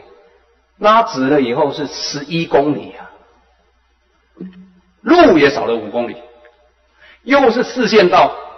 又是直的，啊，光这边开车的时间减少半个钟头以上，而且不会因为台风来就断，台风来就断啊。这边它的效益是非常大。那目前啊，桥梁的工程是还有略略超前它的进度啊，预计在一百零六年十一月会完工。隧道工程稍微落后啊，原本我们希望在一百零六年底，它现在大概在一百零七年。的二月预计是在二月可以完工，好，那也把这个进度跟我们议员、跟我们啊台东的乡亲来报告。那另外，呃，花东铁路的双轨化跟南回铁路的电气化也持续在进行当中。那么这个啊南回花东铁路的瓶颈路段其实已经大部分完工了了哈，现在剩下自强隧道跟啊瑞穗啊这个完工之后。将来这个这两个地方都可以进行双轨，那我们真正期待的是全线都要双轨。现在很明显的，华东铁路的这个运能运量是不足以满足我们台东的需求，大家还是在讲买不到票啊。那我们会觉得买不到票就增加列车啊，那增加列车会受到限制，为什么？因为你只有单一一条轨道，百分之七十。是是只有一条轨道，你列车要增加，双向要通车，都会有困难。全线双轨之后，列车的增加就可能会增加，就可能比较容易安排啊。所以这个全线双轨，我们要持续再再去再去要求哦，已经开始在做评估，但是这个啊第一阶段的这个平均路段双轨也接近完成。那第二个就是第二个就是这个啊南汇铁路的电气化啊，现在还是预计在一百零九年啊可以完工。我要进入到产业第九项哈，我们原住民文化会馆啊，原来经营亏损，然后二十四个房间啊，这个现在经过我们的修缮之后啊，已经提高到三十三个房间，然后也经过啊我们委外的招商，现在评选的经营的团队出来了啊，在六月十五号，下个月十五号就要开始试营运了啊，要开始试营运了。那呃，这个将来我们啊。每年可以收租金、收权利金，两个加起来大概两百三十万左右。那另外啊，他的收入的百分之四还要再交给我们啊。我们开出来的条件里面，希望他禁用至少百分之六十的员工是原住民啊。到目前为止，他聘用的员工有百分之六十四、六十五啊是原住民啊。那里面当然里面的这个整个布置摆设要以原住民的方式，原原住民的这个文化的这这个呈现哦，也是我们的要求哦。我们期待。啊，这个呃新的原住民文化会馆啊，可以是一个兼具文化传承啊跟住宿功能这样的一个呃呃一个基地啊。那另外我们呃铁花新村新聚落啊，就是我们旧站这个魅力据点这个案子啊，这个经过我们跟观光局跟原民会啊的经费的争取，刚投入在这里啊，就就公部门的经费就已经四五亿了啊，那。呃，这个也到了接近完工，而且我们已经完成招商了啊，完成招商了。今年八月很快哦，八月就要开始营运了啊！各位，如果各位看到现在我们铁花村就可以啊，弄出这么样的这个吸引人哦啊，等各位看这个整个这个魅力据点啊，包括我们原住民的这个。文创的会馆，这个啊开始营运之后，那一整片啊，整个规模就扩大了啊。呃，几个图片让各位看一下，这些原来台铁破破烂烂的这个这个砖砖造的木造的这些旧房子哈，呃，都已经啊改建过啊，焕然一新。再加上我们的捷运站啊，我们的旧火车站现在是台东的转运站啊，台东转运站啊，每天三百多班的这个这个巴士哈，从这边啊发车啊，都可以结合起来。这个是我们原住民的呃商品展售馆啊，那进度稍稍落后，呃原因就是它那个波浪形的的这个这个上面要贴那个马赛克，非常非常辛苦啊。建筑师设计的很开心啊，等到厂商真正去施作的时候，唉声叹气啊，叫苦连天啊。那不过也已经接近完工了。那将来我们就是连这个啊也一起。啊，委给民间去经营，他会把台东的好的、台东有特色的啊这些啊，包括在这一栋啊，基本上以原住民的呃这个产品啊为主，全部归纳，请他们进来，进驻到这个基地里面来。所以未来这个地方就是个吸引观光客，我们县民也可以在那边去做休闲，然后做购物，然后采购台东的商品，一个最好的地方。我们呃。在一百零四年二月哈开办的这个繁荣家园贷款啊啊，到今年二月啊啊一年下来哈，总共审查通过了一百零六个案件啊，然后贷款出去的金额九千八百多万，呃，基本上一亿元已经差不多用光了啊，已经差不多用光了。那呃，要跟各位议员报告的就是说，很重要的，我们实际上去做利息的补贴啊。到目前只花了我们七十四万，花了台东县政府七十四万，但是我们有一亿元投入在我们的台东的产业上面，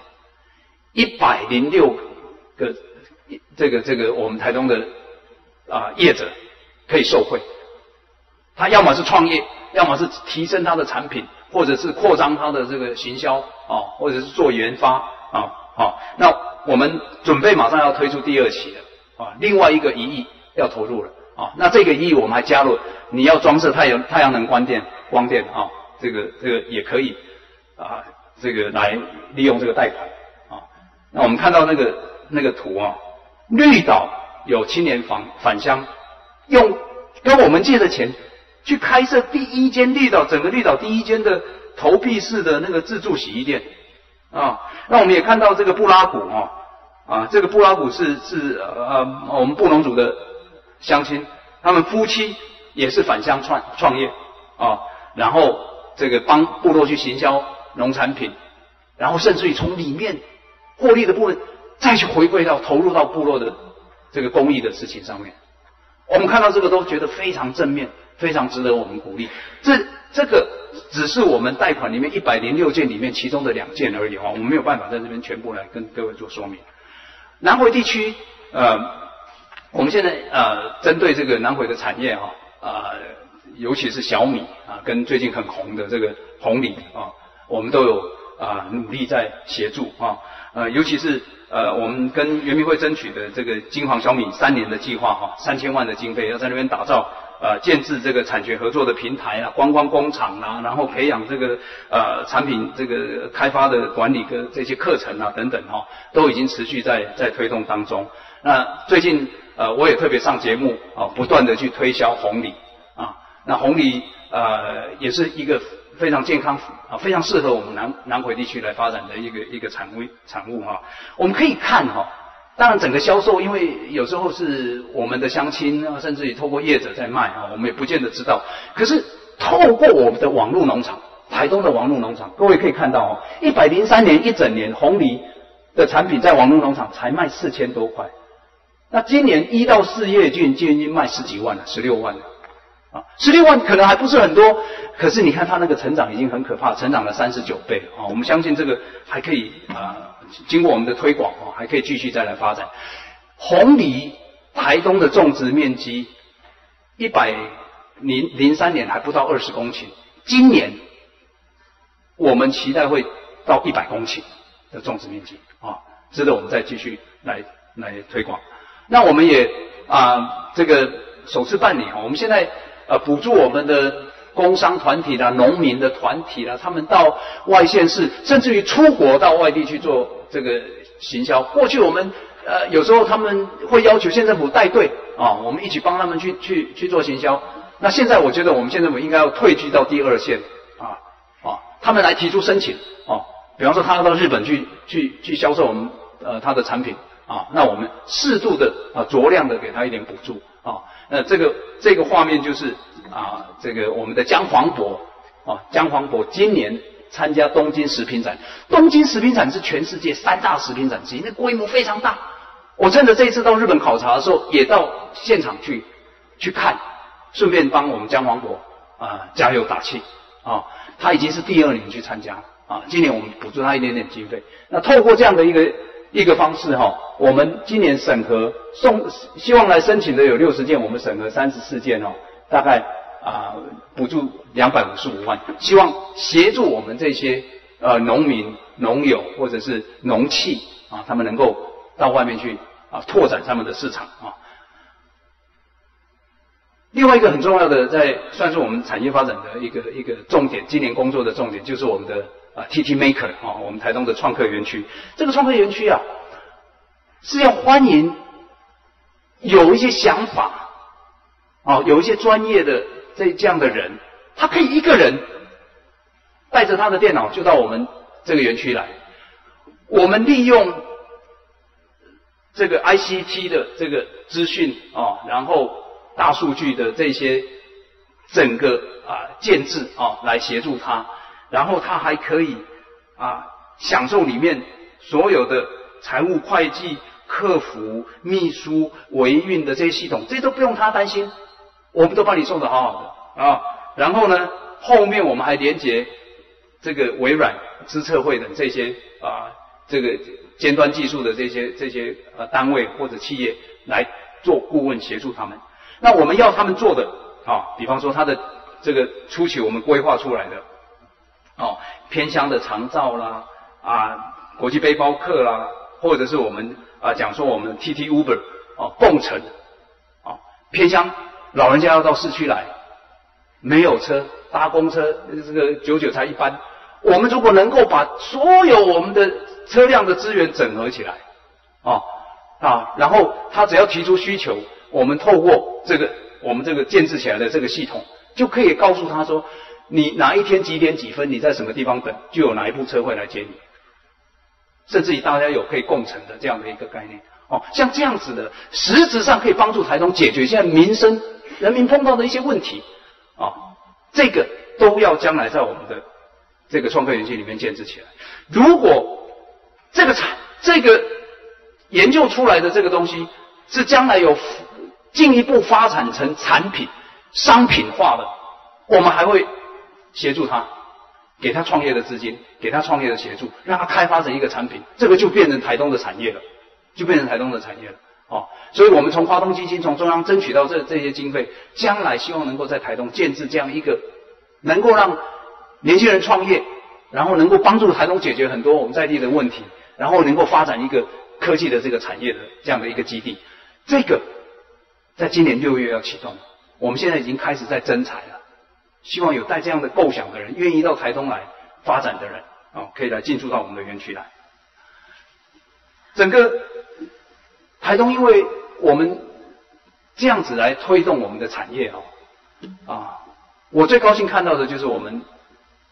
就业市场产生了结构性的变化，啊，特别让议员看到这张图，蓝色的是到就业服务站、到就业服务中心去登记，说我需要工作的人，啊，蓝色的，红色的。是企业去登记说，我需要员工，我要找员工。长期以来，各位可以看到，找员工的都比找工作的还要少。很多人想找工作，没有工作，没有工作给他，这中间的落差就是工作不足，啊，需求大过工作。那。这个逐渐缩短，经过这几年啊，在一百零二年、一百零三年就已经出现了黄金交叉。现在的台东是要找工作的人，比要找员工的，比要找员工的还要少。我们有很多工作目前是找不到人来做的，这个已经是台东现在的现象。所以因为这样。我们去年开始，我们带着台东的企业到县外去参加就业博览会，到大专院校去做说明会、去征才。我们要开始从外地找人来台东。今年我们县政府还要自己办台东县的就业博览会。啊，我相信以台东目前啊的整个居住的。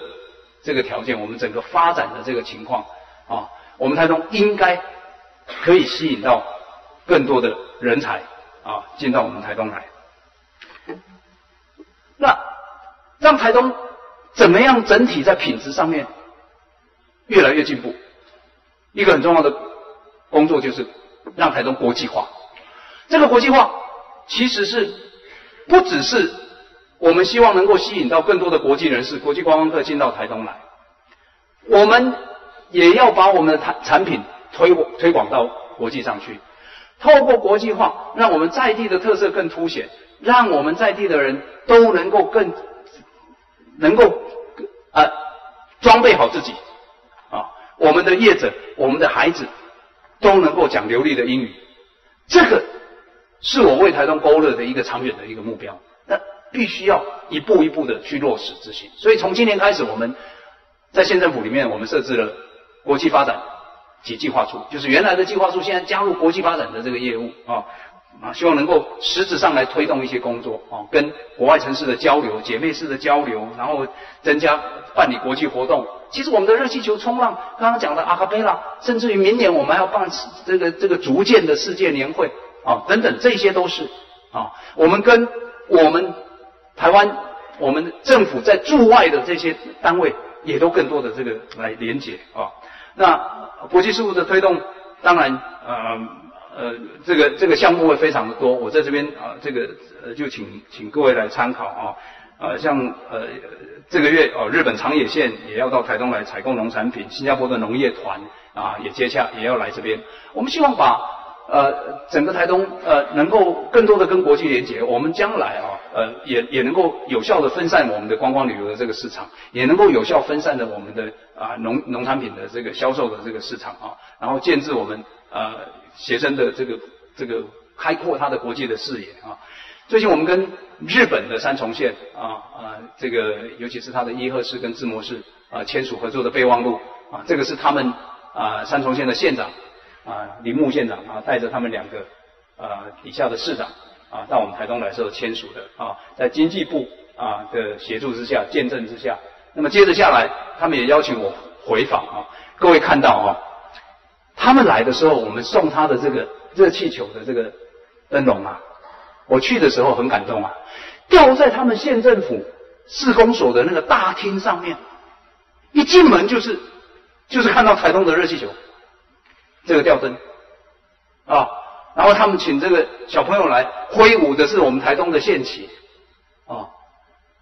非常非常感动。啊，然后在他们公所的这个这个大厅的那个橱窗啊，现在开辟的是台东的专区。介绍台东的这个景啊，我们还有一些产品，我们带去的或者透过他们带去的，都在那边展示出来，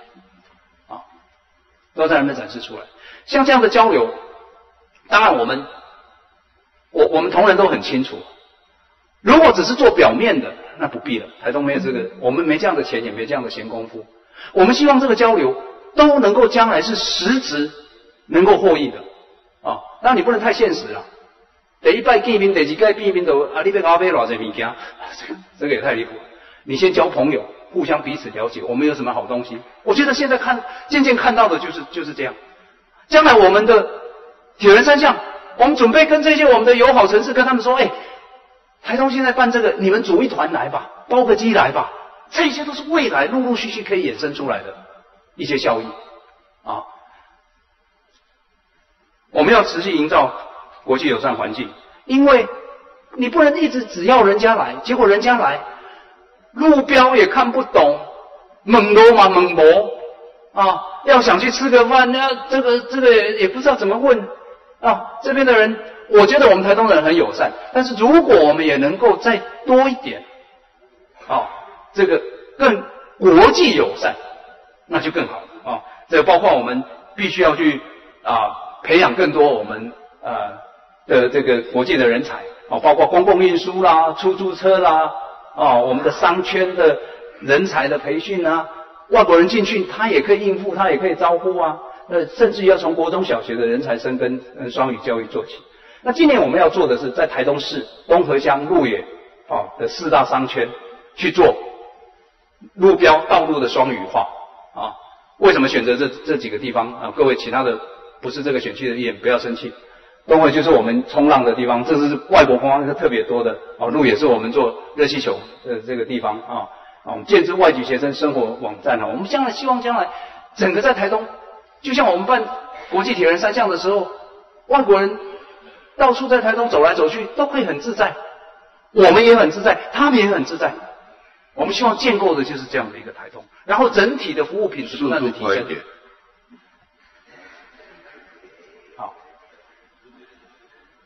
是，好，我要进入到最后一项了啊！谢谢谢谢副议长的提醒。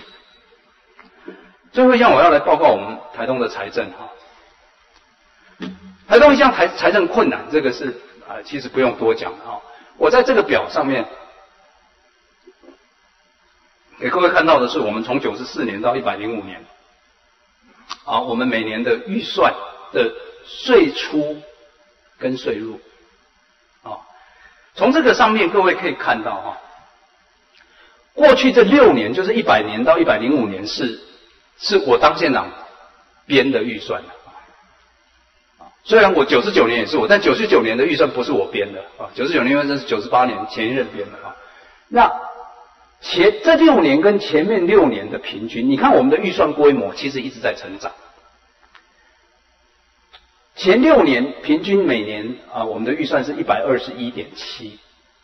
这六年我们是一百四十五点九，也就是说，我们每年大概要多做二十四亿的工作。哦，每一年我们预算的规模成长二十四亿，啊，这是第一个。第二个，你看到那个税出跟税入的差差距，每年大概就是十五到十七亿，从来没有例外哦。怎么样？你就是那个缺口，就是差那个十几亿在那个地方。那各位都知道什么原因？我们光是人事费啊，一年就差十几亿了，主要就是人事费。我们实际的这个公务员、教职员、警察这些薪水，跟中央用一个公式计算给我们的，对不起，就是差十几亿。阿姨都是这我的熊班，你可以说中央没有拨给我这个钱，我就不付他薪水，不行吗？那他他我们每次跟他吵这个，他啊，我照我的公式计算就是这样啊。举例来讲，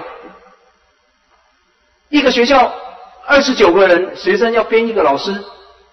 你全台东县有多少个学生除以二十九，就是要几个老师，我就给你几个老师的钱。你都知道我们不是这样啊。我们有两个就一个老师的，一般两个、啊、五个、啊、十个这种一大堆啊。我们用的老师的钱就比他算给我们的就不知道多多少。总之，我们每年光是在这个人事的费用上面啊，就差十几亿。所以这个缺口要怎么办？各位，你们审我们的预算审那么多次了，你都知道，我们编完预算就跟你讲说，不足的部分。我们必须要来举债来弥平，但是钱能够这样子一直借下去吗？如果我们每年照这样子借下去，我们老早就爆表了。哦，看到这个下一页啊，从另外一个角度来看，这个是实际上我们县政府每年发包的工程或者是采购的劳务啊。我把它分几个阶段来看，你就可以看到，从九十九年到一百零二年，我们一年比以前要多做多少？啊，呃，这个你如果把它算那个每年的平均哦，过去年度九十八年以前，我们现在我们每一年平均的发包采购的预算大概是二十一点六亿了。九十九年开始，我们要三十六点几亿，我们每一年。要增加发包采购的哈，要增加十五亿。那各位也都知道，这些增加出来的预算，增加出来的采购工程，不可能是我们现预算来支应嘛？完全不可能，都是我们去从中央另外再去争取，哦，另外再去争取的。那这些差短，刚刚讲到的每年的这个差短，啊，如果。我们不努力想办法去开源节流，啊，就会像如果照预算这样子，九十八年我上任的时候，我们台东的台东的负债是六十九点五亿。如果我们每年照预算编列，每年差十几亿这样一直去借钱来，到现在啊，我们的负债应该一百七十八亿了。啊，那实际上我们现在的负债是怎么样？我们现在的负债是七十五点三亿。啊，七十五点三亿。如果把我们跟基金调度，啊，实质的负债大概是九十一点八亿。啊，所以这中间的落差啊，这中间的落差，是我们必须要很认真的去，很负责任去看待我们的预算的问题，例行开源节流，然后管控债务。啊，这几件都是我们在这几年做的比较落实的哈。啊，第一个。这个好，举例来讲了哈，我们怎么样节省营养午餐的费用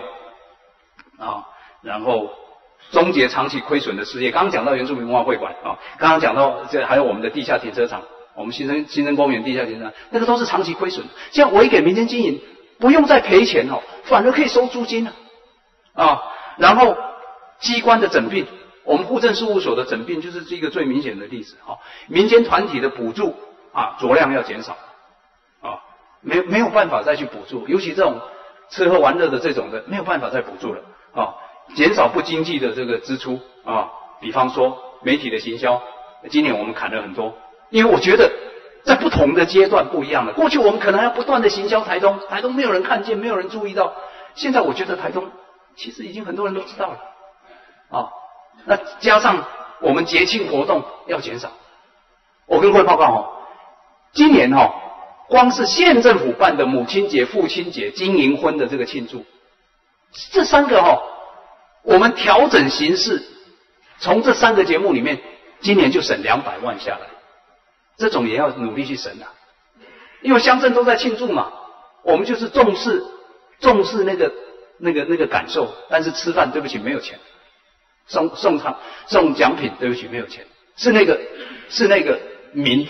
啊，我们让他觉得很尊重啊。那像这样的省钱的方式，我们一直在做啊，加强库款的调度啊，节省利息支出。另外想办法这边要省钱，另外一边要开源。哦，创造收入的管道，比方说我们装设太阳能，我们有回馈金啊。我们的在利绿岛做的免税店，我们每年也可以有权利金的收入。这些都是我们在我们在电影城，我们标售沙石，这些我们都不断的要去去开创啊，然后争取企业的资源啊。其实讲到慈济、长荣、台塑，在我上任以后帮我们盖的这些校舍，都可以帮我们省钱啊。其他的公益项目很多啦，我们从民间资源去寻找的啊，像这个消防局的消防车、救护车哦，这个我们办的这个啊，这个这个跟教育处合作的这个啊，这个这个啊，云端爱宴帮助学校盖厕所啦，提供早餐啊等等的哦，这些都其实可以相对就节省我们啊政府的支出啊。那另外好的这个资产的管理很重要，我们去清理现有的土地。很多过去被占用，连那个补偿金也没有收到，啊，租金没有收到的，都不以前都不知道，现在我们就把它清理出来，啊，能够处分的小面小面积的，那已经被你占用，上面盖的房子，好，你要买卖给你这一类的，我们也让我们清除很多过去是看不见被闲置的这样的一个资产，这部分我待会啊可以再再啊再讲一下哈。另外设定地上权。啊，设定上的案子我不卖，但是闲置在那边的土地给企业来使用五十年、七十年，哦，类似电影城这样的模式，类似我们这个呃这个这个这个成品旁边这个哦旧税建处，哦，像这样两个案子、两三个案子，帮我们增加的现户的收入就一亿多了，哦，就一亿多了啊。那这些都是我们需要的啊，加强行政效能，中央很多很多的评比，他最后啊现在都是寄出奖励。你如果有得名，我就给你多少钱；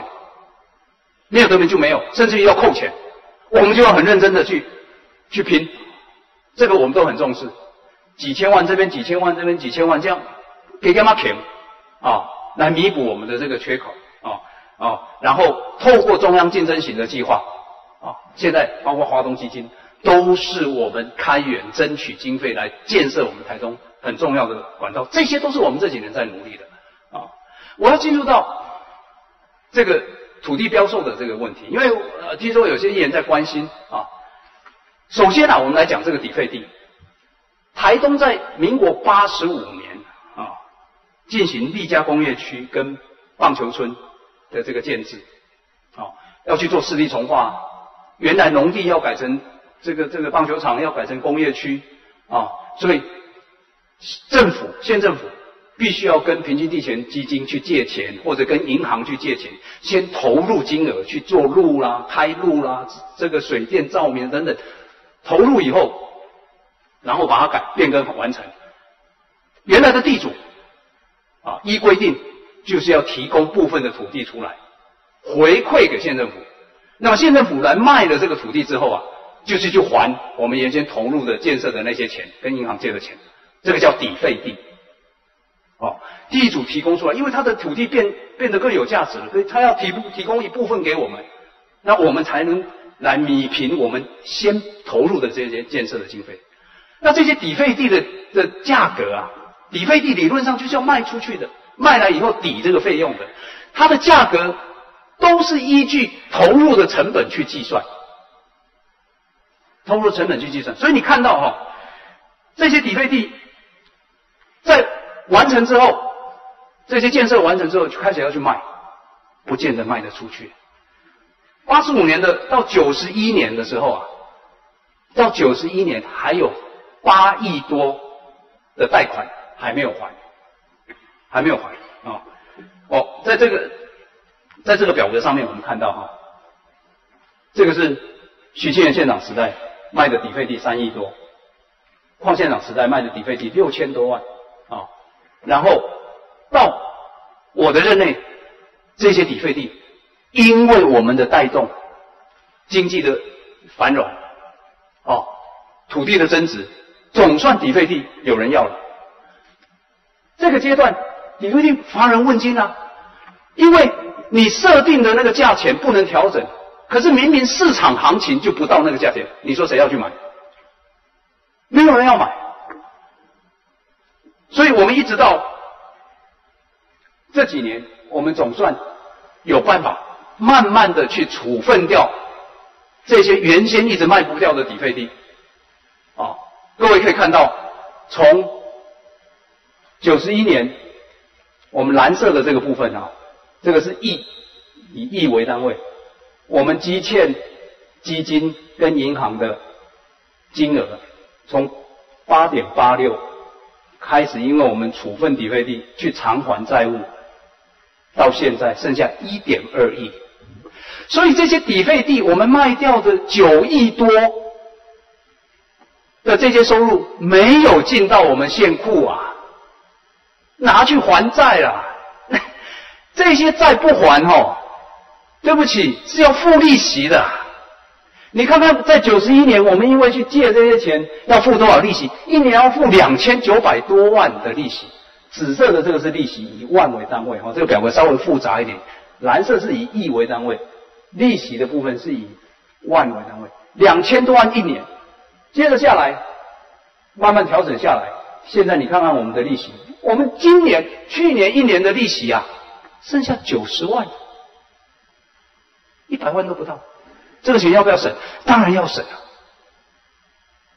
这个就是我们处分土地里面百分之八十最大宗，就是在解决我们的底费地。现在几乎所有的抵费地都已经清理，啊，也把债该还的都还的差不多了，该还都还的差不多了。那除了抵费地之外，其他的现有土地，啊，这个。销售的情形也在这边跟呃各位来报告啊。从九十九年到一百零四年，我们现有土地的呃处分哈，大概就是底费地以外的的标售让售总金额大概二点九亿啊。这个二点九亿其实主要就是我刚刚讲的机林地啦、小面积的啦。以前被占用，我们被我们把它清理出来，你不不处分，还还要把它围起来啊？这种的，我们就去把它处分掉啊。然后你不处分哦，它还影响市容，影响到都市的发展哦。我们很积极的，我们财经处很积极的工厂管理的同仁啊，清理出来之后就签上来，签请议会同意，让我们来处分。那这样子总共。哦，我们在这六年的时间处分了二点九亿，很多吗？它的面积占我们公有现有非公用土地的面积百分之一点一，就是百分之一，啊，就是百分之一。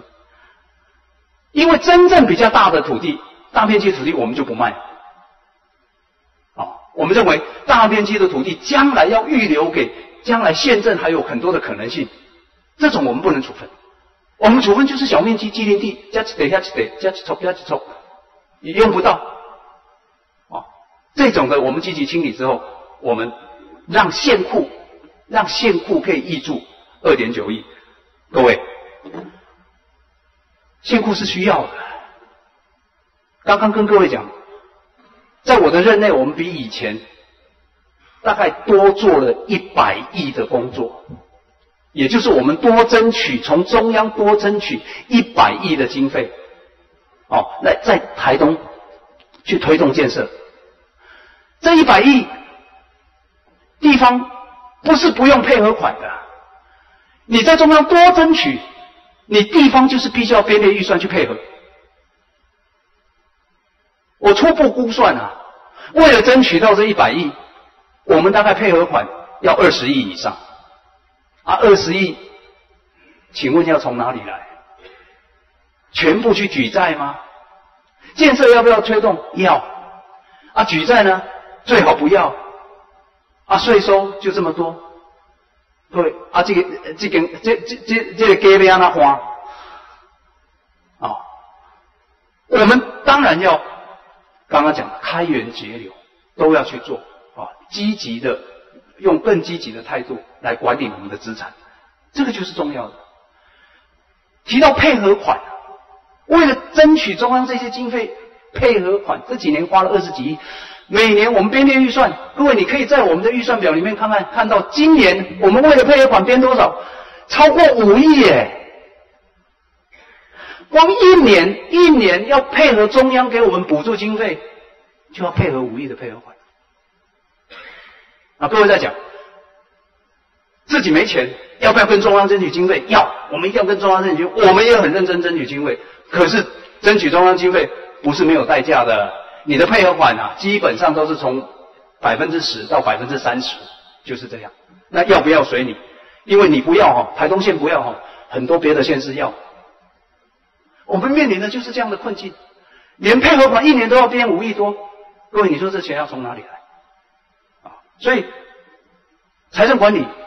是非常非常困难的一件事情。但是我们台东县这几年这样做哦，我们在明年的评比，我们的我们的财政管理，甚至于还是模范生，全国进步第一名的台东的财政管理。最后，报告副议长，真的是最后。啊我们会持续争取华东基金的益助啊！今年这从今年我们争取到的第二期一百零五年到一百零八年的，跟各位报告，现在我们总共已经有六十九个案子，华东基金的部分将近十八亿，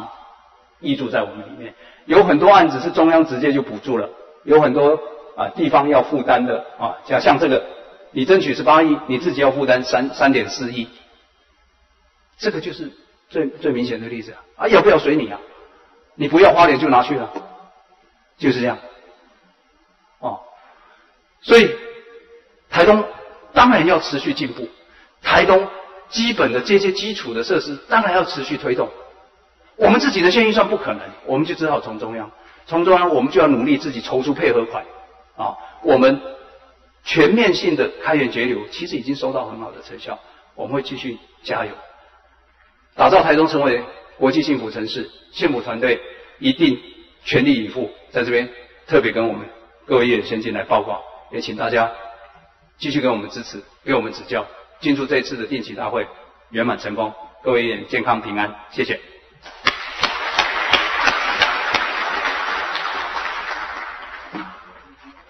好，谢谢黄县长，好在没有超过三个小时，刚刚好两个小时。其实县长哦，这次推的前中运哦，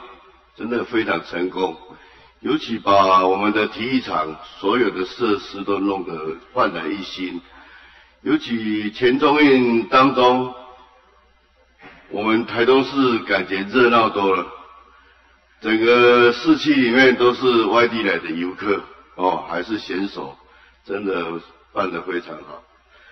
不然就是。济福食堂，现在你想不想一个池上有那个三十九块的便当？一个便当三十九块，那个都不会赚钱，那个才是真的你要去看一下。都是一些老年人哦，他自己家里剩的菜，啊，带着老年人一起煮，煮了他们内市村都是年轻人都外出嘛，他们煮好的便当，外面来买就三十九块，其他他都还分送到独居老人。自己把它送去给他们吃，他怕他们老人家在家随便吃吃不好，所以这个县长有时间应该去看一下。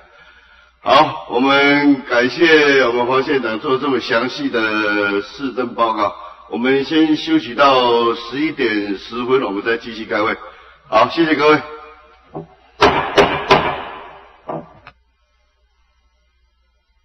好，我们继续开会。好，我们第二项县府报告上次大会决议案执行情形，我们请民政处严处长。呃，主席、各位议员、女士先进。呃，大会第十八届第二次定期会及第五次、第六次、第七次临时会议案执行情形，总共议案三十一件，除了一件是非本府权者已经转给八合局研议办理以外，其余三十件都已积极执行中。报告完毕。好，谢谢严处长。们第三项是各单位工作报告。每次工作报告，我们议员都比较没有兴趣好听。我想说，在我们各好，李三的李议员，你有什么意见呢？我先请你发言一下。谢谢大会主席，我有意见啊，我喜欢听啊，工作报告啊，我请这个工作报告继续啊，深入你要听我上尾一个哦，啊对，你袂使偷走哦。哎呀，我大概拢剩我一人伫遮尔。哎呀，报告，好，该赞美的赞美，要颁奖就要颁奖，好，谢谢大会主席。来，干什么？现场讲的，好，我们从户外局开始，我们原则上不超过两分钟。我们先请警察局长王局长。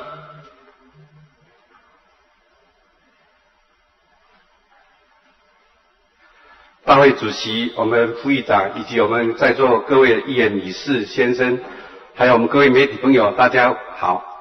我想在过去我们这一期当中，我们在整个治安跟交通部分啊，哎，承蒙我们各位议员先进啊的鞭策指导啊，哎，都很顺遂。刚才县长在施政报告，我们会努力不懈来守护我们台东的家人安全。啊，在治安面向来讲，我们在刑案发生数啊跟破获数啊，我们都比往年呃去年同期啊都有好的现象，但是在交通面向部分啊，今年一到三月份，我们突然间 A 1事故啊也增加，所以说我们在四月份之后啊，我们重新检讨对交通的部分呢、我们会全力再来做好各项的防治交通事故，同时我们透过县道安汇报。对于一百多次的一个改善的一个部分啊，我们也提到我们道安汇报各相关的前者单位啊，来积极来列入年度的来改善。另外，其实我们未来的推动重点，大概我们有十二项的工作重点。我们如书面资料第二十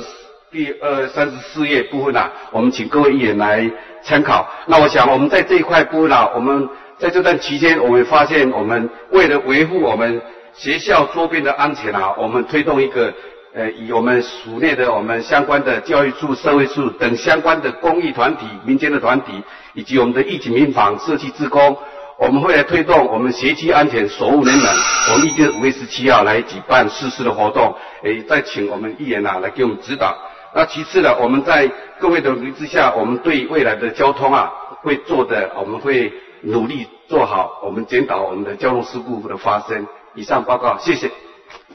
好，谢谢警察局王局长。我们接下来请消防局管局长。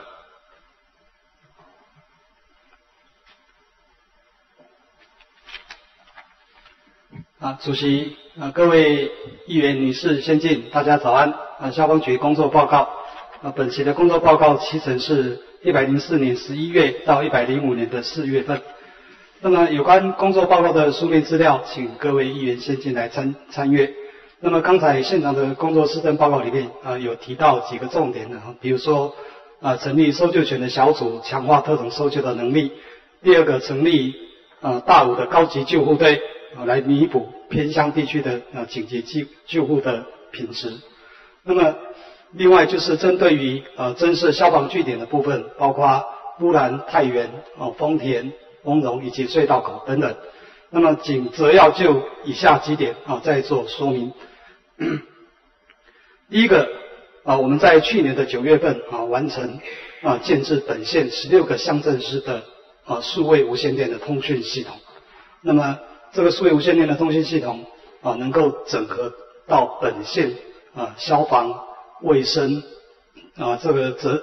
责任医院啊跟警察之间的的来互相的来通讯啊，方便在紧急灾害发生的时候啊，能够让通讯顺畅。那么第二个有关听设诊件的部分，那么在蓝屿分队的部分呢，那因为啊民这这个当地居民啊的一个啊的抗争，所以啊我们原来的工程就啊停止了。那目前啊借用蓝屿乡公所的旧厅舍啊，目前啊已经发包进行整修，预计预计今年的九月份可以完工。那么另外就是丰田分队以及搜救犬的训练场这个部分呢，目前已经完成规划设计，预计在明年的呃九月啊可以来完工。那么最后呢，就是有关太旧消防车的部分。那么今年我们编列两部啊，水水上消防车的太旧换新啊，已经完成采购啊，预计今年的十月份可以交车啊。以上报告，敬请各位指教。好，谢谢消极管局长，报告我就可以先回去。好，我们接下来请卫生局张局长。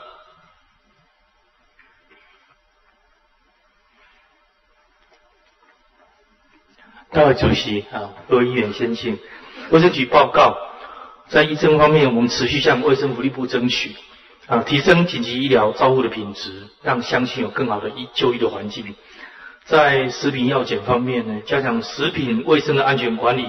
还有加强药事机构的稽查，营造用安全的用药的环境。至于长照方面呢，我们建置长照服务的网络，提供乡亲完善的长期照顾服务。预计在年底完成一乡镇一日照。呃，保健方面呢，我们跟公司部门合作，推动戒烟、戒槟榔、戒酒，还有体重的自主管理，定期疾病的筛检，维护无烟的环境。哈那疾病方面呢，因为现在天气渐渐的变热，哈，那我们全国已经进入长病毒的流行期，本局将加强疫情的监测，呃。同时与各个医疗院所、教育处的合作，呃，教育民众要勤洗手，吼，以降低肠病毒的发生。同时，我们将跟呃环保局合作，跟对民众宣导，啊，清理住家的环境，预防登革热的发生。最后，我们在南回县的紧急医疗照护中心的新兴计划，卫生福利部已经修改完成。已经送进到行政院的国发会的审议当中。以上卫生局的报告，请进行各位指教。好，谢谢卫生局张局长。我们接下来请环保局谢局长。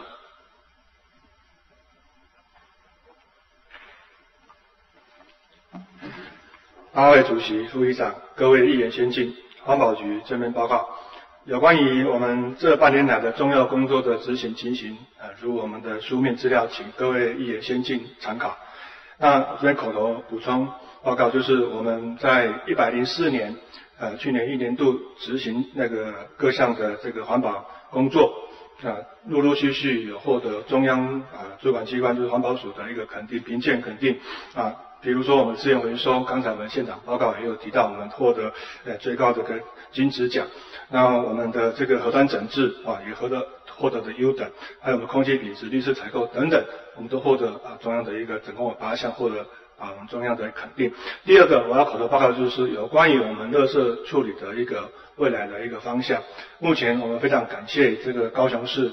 陈局长。那陈陈市长还有我们的那个蔡局长啊，对我们这个台东啊伸伸出援手来协助，每天帮我们处理啊代烧这个五十吨的垃圾。那这个是从去年八月开始，我们收到公文通知，从十月一号开始不收我们台东垃圾以来，我们不断的啊透过中央环保署，还有我们的督察总队的长官跟这个高雄还有南部的其他县市有焚化厂的县市来做沟通协调。那一直到今年的三月。啊，我们才跟他谈出一个大致的一个方向。当然，这方面也非常谢谢我们这个呃廖议长、我们廖廖廖委员、廖立伟，还有我们的刘刘委员啊，还有洪议员啊，中居中的一个协助。当然，这个这个是有一个前提，就是我们必须要朝着自己以后未来要自己乐色自己处理的方向去去进行。那这边也要拜托各位议员先去帮我们宣导民众。从垃圾的这个源头减量，垃圾做好这个资源回收跟分类是非常重要的一个工作。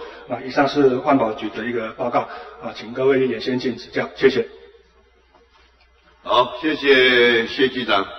我们接下来请税务局。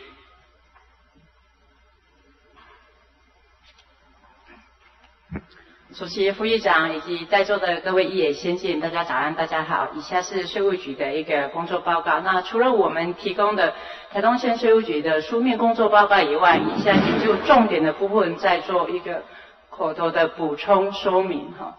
第一点就是啊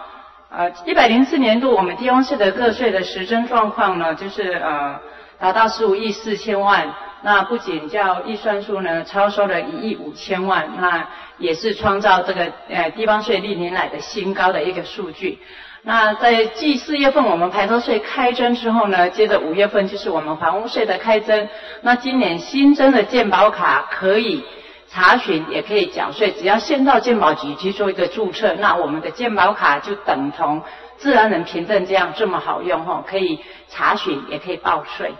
那再来的话，就是我我们呃，基于就是说，在这个医化的时代，我们希望透过这个资讯的这个呃各方面的这个提升，特别跟台东大学做一个产学合作，在五月十三号，也就是后天下午下午两点，在台东大学的台东校区，我们做一个呃合作的这个备忘录的签署的仪式，有正式的记者会，今邀在座的各位先进呢，能够到场给我们莅临指导。那以上是税务局的一个补充报告。那当然，最后要提醒各位乡亲朋友们，记得准时缴税是最好的节税方式。以上报告完毕，敬请各位指教，谢谢。好，谢谢李局长。我们接下来请民政处我们严处长。呃，主席、各位议员先进。呃，民政处报告，请参阅书面报告的第一页到第十页。以下请针对四点做补充。第一点就在这自治业务方面，最近几年啊，审计师对代表会的诸项经费支出跟呃议会运作都有一些检讨，所以为了协助乡镇代表会能够正常的运作，在经费自用上也能够顺利，我们特别邀请他们一起来研商，共同解决问题。第二点就是在附赠便民服务方面，我们目前做了附赠行动化服务，也就是到宅服务以及。推动全面免户籍成本，这两项措施都受到民众呃颇多肯定。我们希望在附赠便民上，行动服务或者免户籍成本能够在一百零五年能够全面落实。第三点，在返乡专车这部分，我们今年陆续仍仍然持续办理春节。中秋跟清明三节的返乡专车，返乡专车多少可以弥补我们呃返乡人潮买不到票的情形，所以这个工作我们会继续推动，也能够体贴的服务服务我们的县民。第四点就是在客家业务部分，我们目前跟客委会总共争取的四大项的计划，好比说冬季跟客家文化园区的营运。还有美食比赛跟呃跨乡镇的跨域合作的规划，我们总共争取了一千三百多万。我们希望在纵谷三乡镇能够把客家的特色能够营营造出来。以上报告敬请各位先进指教，谢谢。好，谢谢严处长。我们接下请财经处卢处长。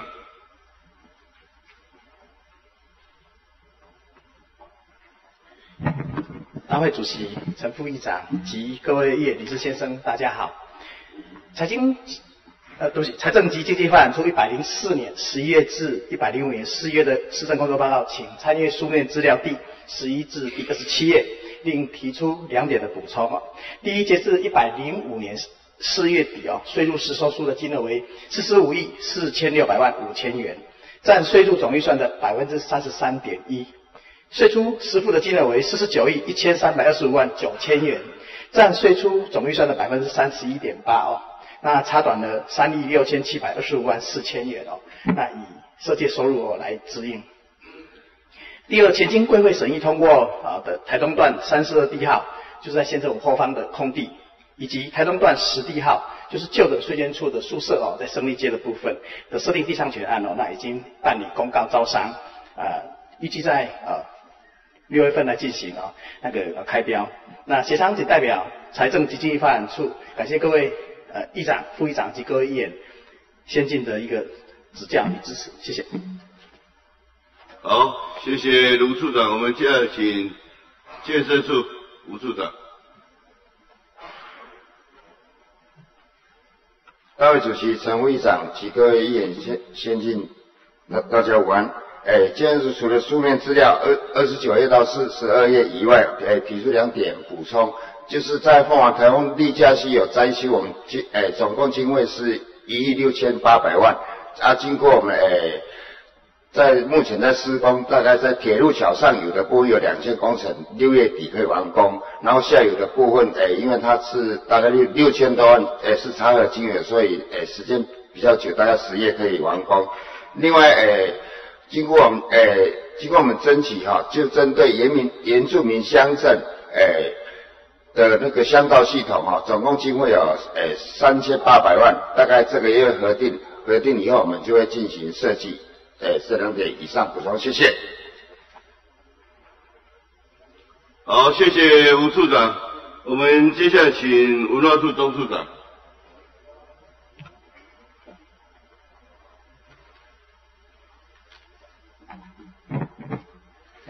大会主席、各位议员、女士、女士先生，文化处工作报告。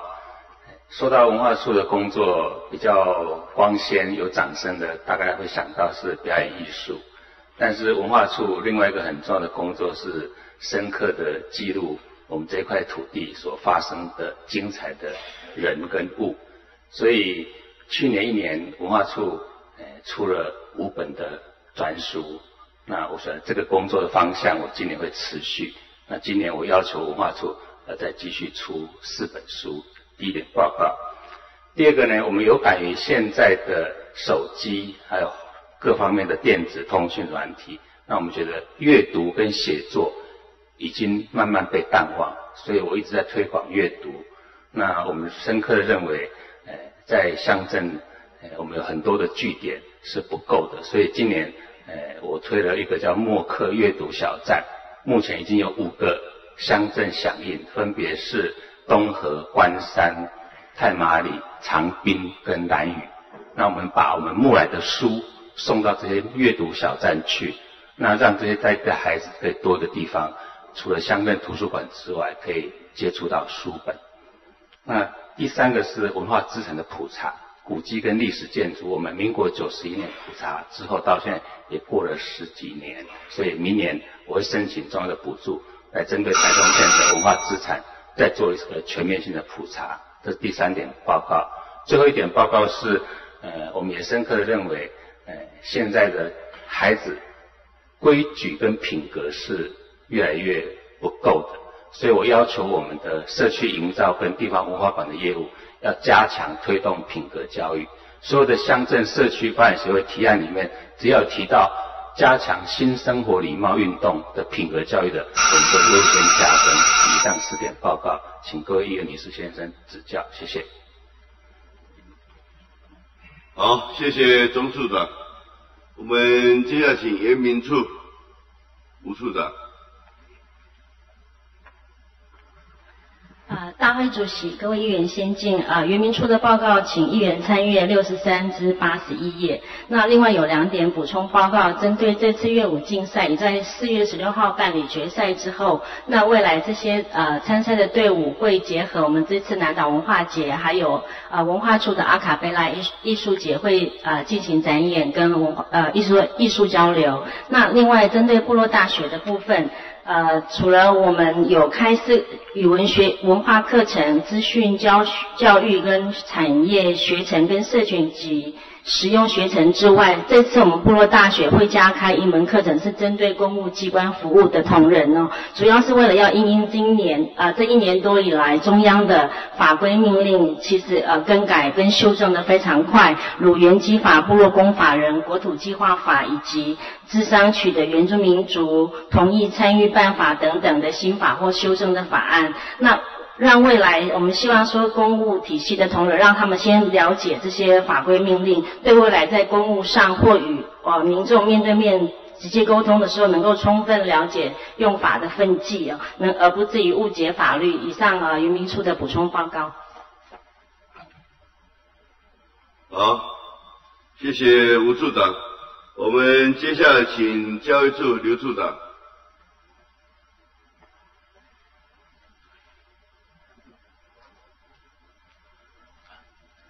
主席以及各位议员先进啊，教育处的书面报告是在八十三页到一百零七页，请各位参阅。我以下就相关的呃几项事情做一个补充报告。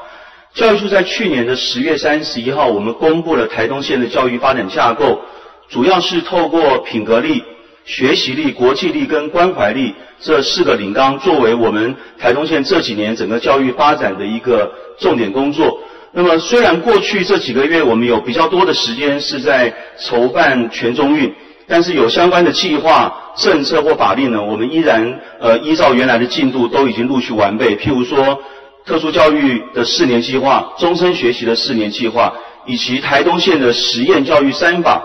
跟呃学校评鉴的实施要点，以及学校本位的教师持续要专业发展要点等等。那除此之外啊，我们也一直积极的在引进。外在的资源哈，譬如说，我们国中的毕业学生要选择职业学校，我们去检视了台东县目前的高职，呃，有几个呃，譬如说呃护理科，或者是呃幼儿保育科，或者是物理治疗科，这个在我们台东县是没有的，所以我们积极跟慈惠医专签订了合作备忘录，他们甚至帮我们台东县的学生去建立了属于台东县的呃奖奖助学金。然后也签订了跟我们台东县的医疗院所的一个产官学的合作计划，将来只要是优秀的毕业的学生取得证照之后，就可以回到我们的台东县的医疗院所来这个工作。那除此之外，我们也认为学生的识字率是必须要受到监控的，所以我们也引进了识字率的一个监测机制，每一年监去测验两次，长时间的去。呃，分析我们孩子在阅读跟识字上面的一个发展，好，以上做这样口补充报告，谢谢各位议员指导。好，谢谢刘处长，我们接下来请管理处江处长。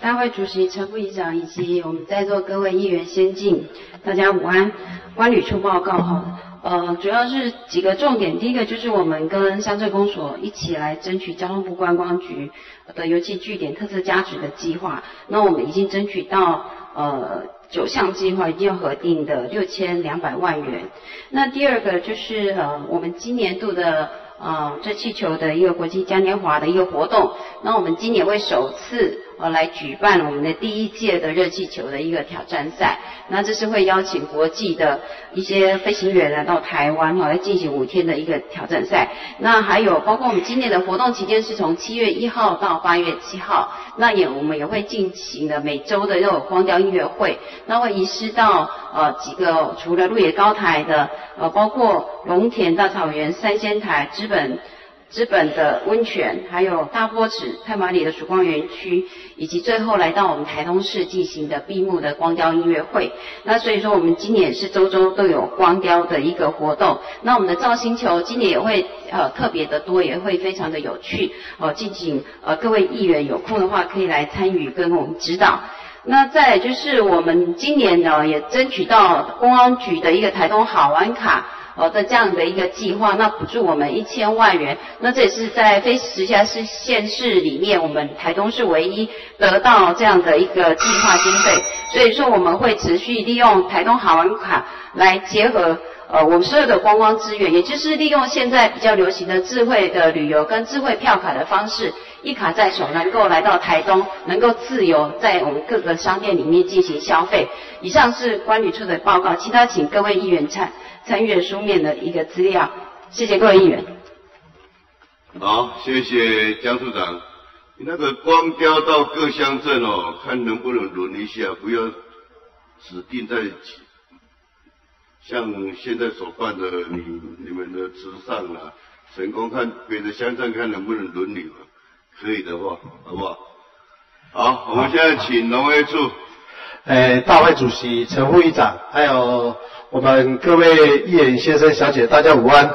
诶，刚才我很紧张，想说我们黄瑞华黄议员，或者是我们在座的各位也听到我要报告就跑掉哈，所以如果还在哈，非常感谢。我想我们书面资料，请参考一百二十三页到一百三十七页。我在这里特别报告农舍的申请哈，因为这个是大家最关心的。我们去年在九月四号。呃，内政部跟农委会相关的法令公布之前，我们去年一到八月总共申请了两百二十一件，我们当时用最快的速度通过了一百八十四件，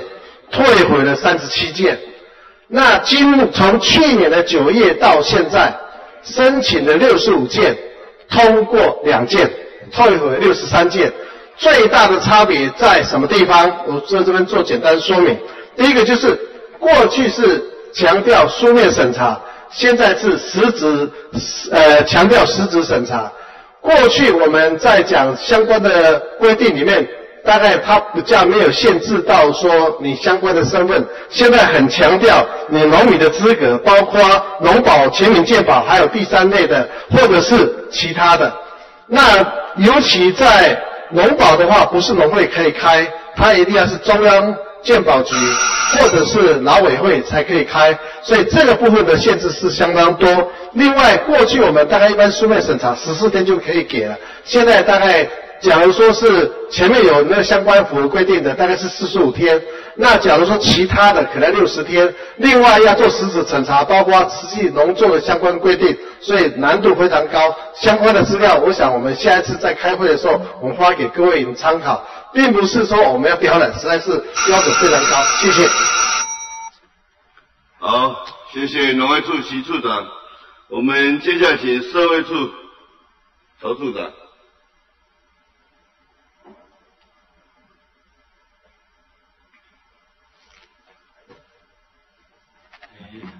主席，呃，各位议员、女士、先呃先生、先进大大家好。呃，社会处工作报告，社会处的工作报告书面资料是在我们一百三十九页到一百九十三页，好，那请各位议员参考。那另外就社会处，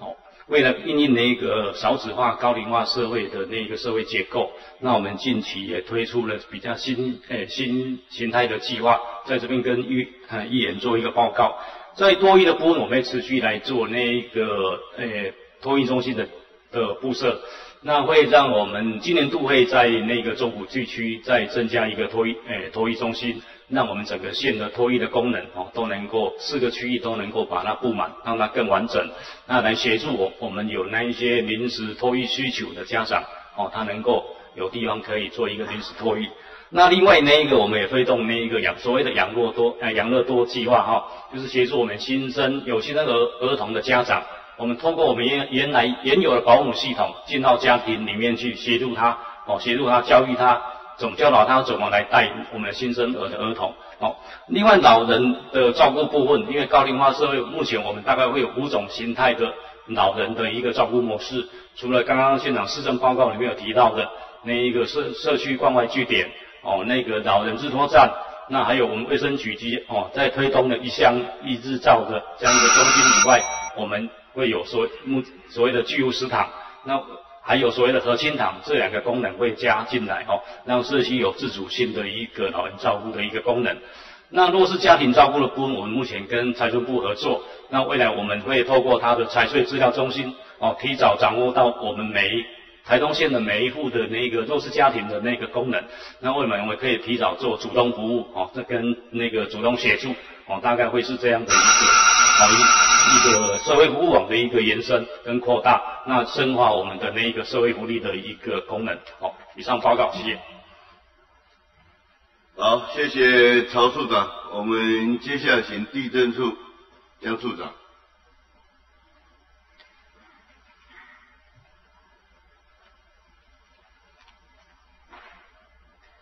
呃，大会主席陈副议长，各位议员先生、女士，大家好。呃，地震处报告，呃，地震团队是民众不动产财产权益的守护者，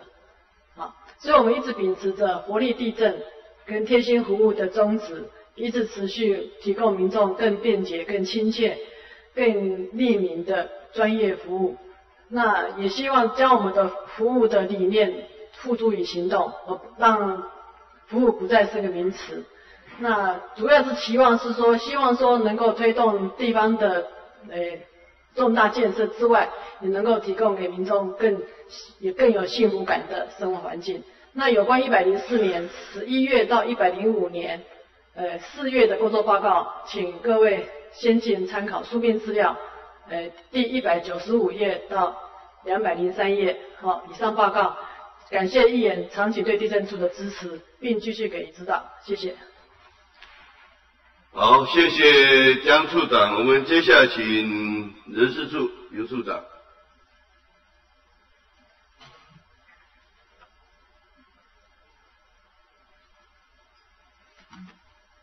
大会主席陈副议长，各位议员、理事、先进，大家好。那人事处的工作报告在书面资料的两百零五页到两百一十三页。那这里简就我们一百零五年退休金的申请以及经费做一个简单的补充。我们一百零五年申请退休的公教人员数总共一百九十六人，总经费是九千四百九十六万元。那其中呢，教师有六十五人，四千一百一十三万元；警察有六十八人，呃，两千九百三十七万元。而且其中警察人员比一百零四年少了三十六人。那我们为了让警察局对警察人员的退留人数可以有效的控管，那我们也把所有退休金全部交由警察局去做管制，那让他们可以预做调整。那在这里呢，呃，我们谢谢呃一眼先进们对我们台东县公务人员退休经费的支持，让我们的公教人员可以预先的规划如愿的退休。啊，只做以上简单的报告，谢谢各位。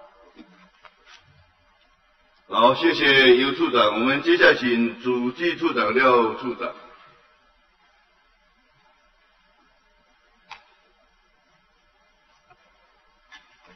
嗯，大会主席陈副议长，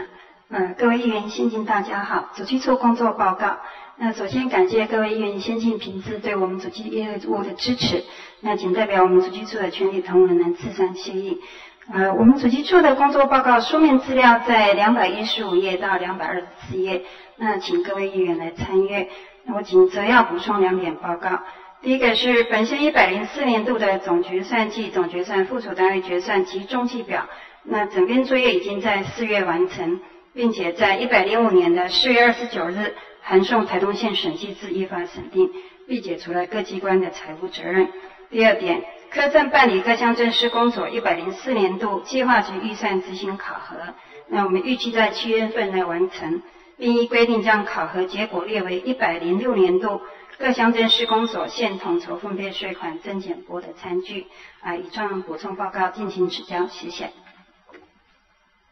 好，谢谢廖处长。我们接下来请行政处长王处长。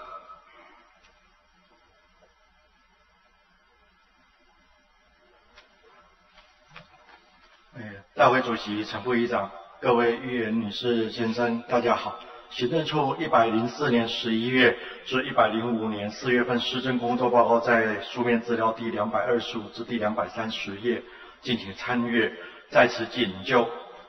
本府办公厅设建筑物耐震能力补强工程补充说明如下：为保障本府同仁及洽公民众生命财产安全。并符合办公厅设应有之耐震与结构安全需求。呃，在大会支持下，本府在去年十月二十八号办理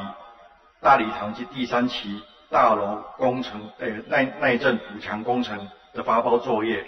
啊，并预定在今年的五月十五日为履约期限。目前工程业已完工，是验收程序完备后。本府建筑物耐震能力五强工程即告完竣。那再次感谢，诶各位议员先进在预算以及各方面的支持，谢谢大家。好，谢谢王处长。我们接下来请郑峰刘处长。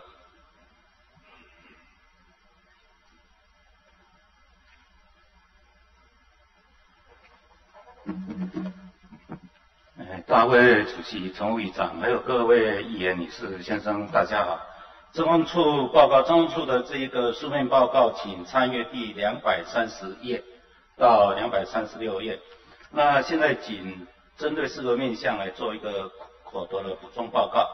第一，在建立廉政共识、树立廉政形象方面，我们会办理这个廉洁楷模选拔，还有这一个校园宣导。还有成企业诚信伦理的研习，然后还有这个廉政自工的训练讲习。第一个在重视舆情的反反应方面，我们会办理这一个廉政的研究问卷调查，那这个调查结果我们会去做一个分析报告，然后再函发给相关的单位来做一个检讨。第三个就是在落实阳光法案方面。我们会办理这一个公职人员财产申报，还有这个公职人员财产申报资料的实质审查。在一百零四年，我们是受理公职人员财产申报案件有五百五十五件，并抽出七十八位来做这一个实质审查。最后，在这一个处理检举案件，我们本期是受理有四十三件的这一个上级交查或者民众检举的这个检举案件。那在追究这一个行政责任方面是有两件。以上报告，敬请各位议员先生多多指教，谢谢。好，谢谢刘处长。我们最后一位国际处，我们一处长。国际发展及计划处长，大会主席陈副议长以及各位议员先进啊，大家午安。国际处主要的工作内容记载在报告书的二百三十七页到两百四十八页，以下补充几点。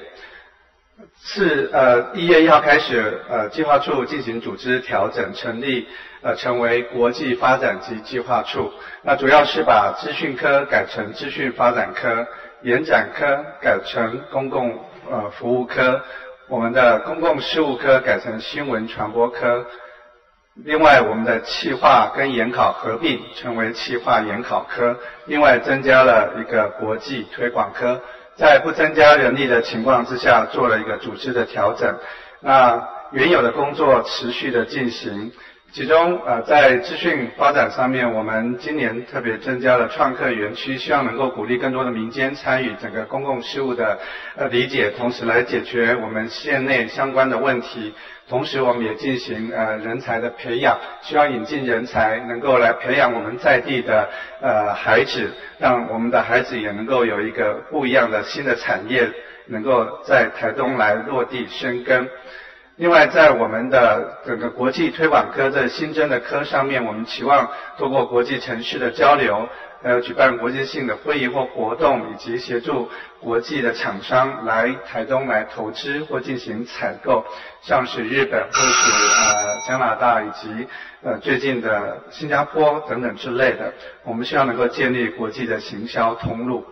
那这是新增加的国际推广科，那其他科的业务，呃。持续的来进行那以上报告，也谢谢各位议员的支持跟指导，并坚持到最后一位，谢谢大家。好，谢谢余处长，你们可以把你以后把对调到最前面嘛，不然你每次排排到最后一位。好，谢谢各位议员，哦，啊也感谢各位媒体先进，我们今天早上的会议。就到此告一段落，下午分组审查及收集资料。好，谢谢各位，谢谢。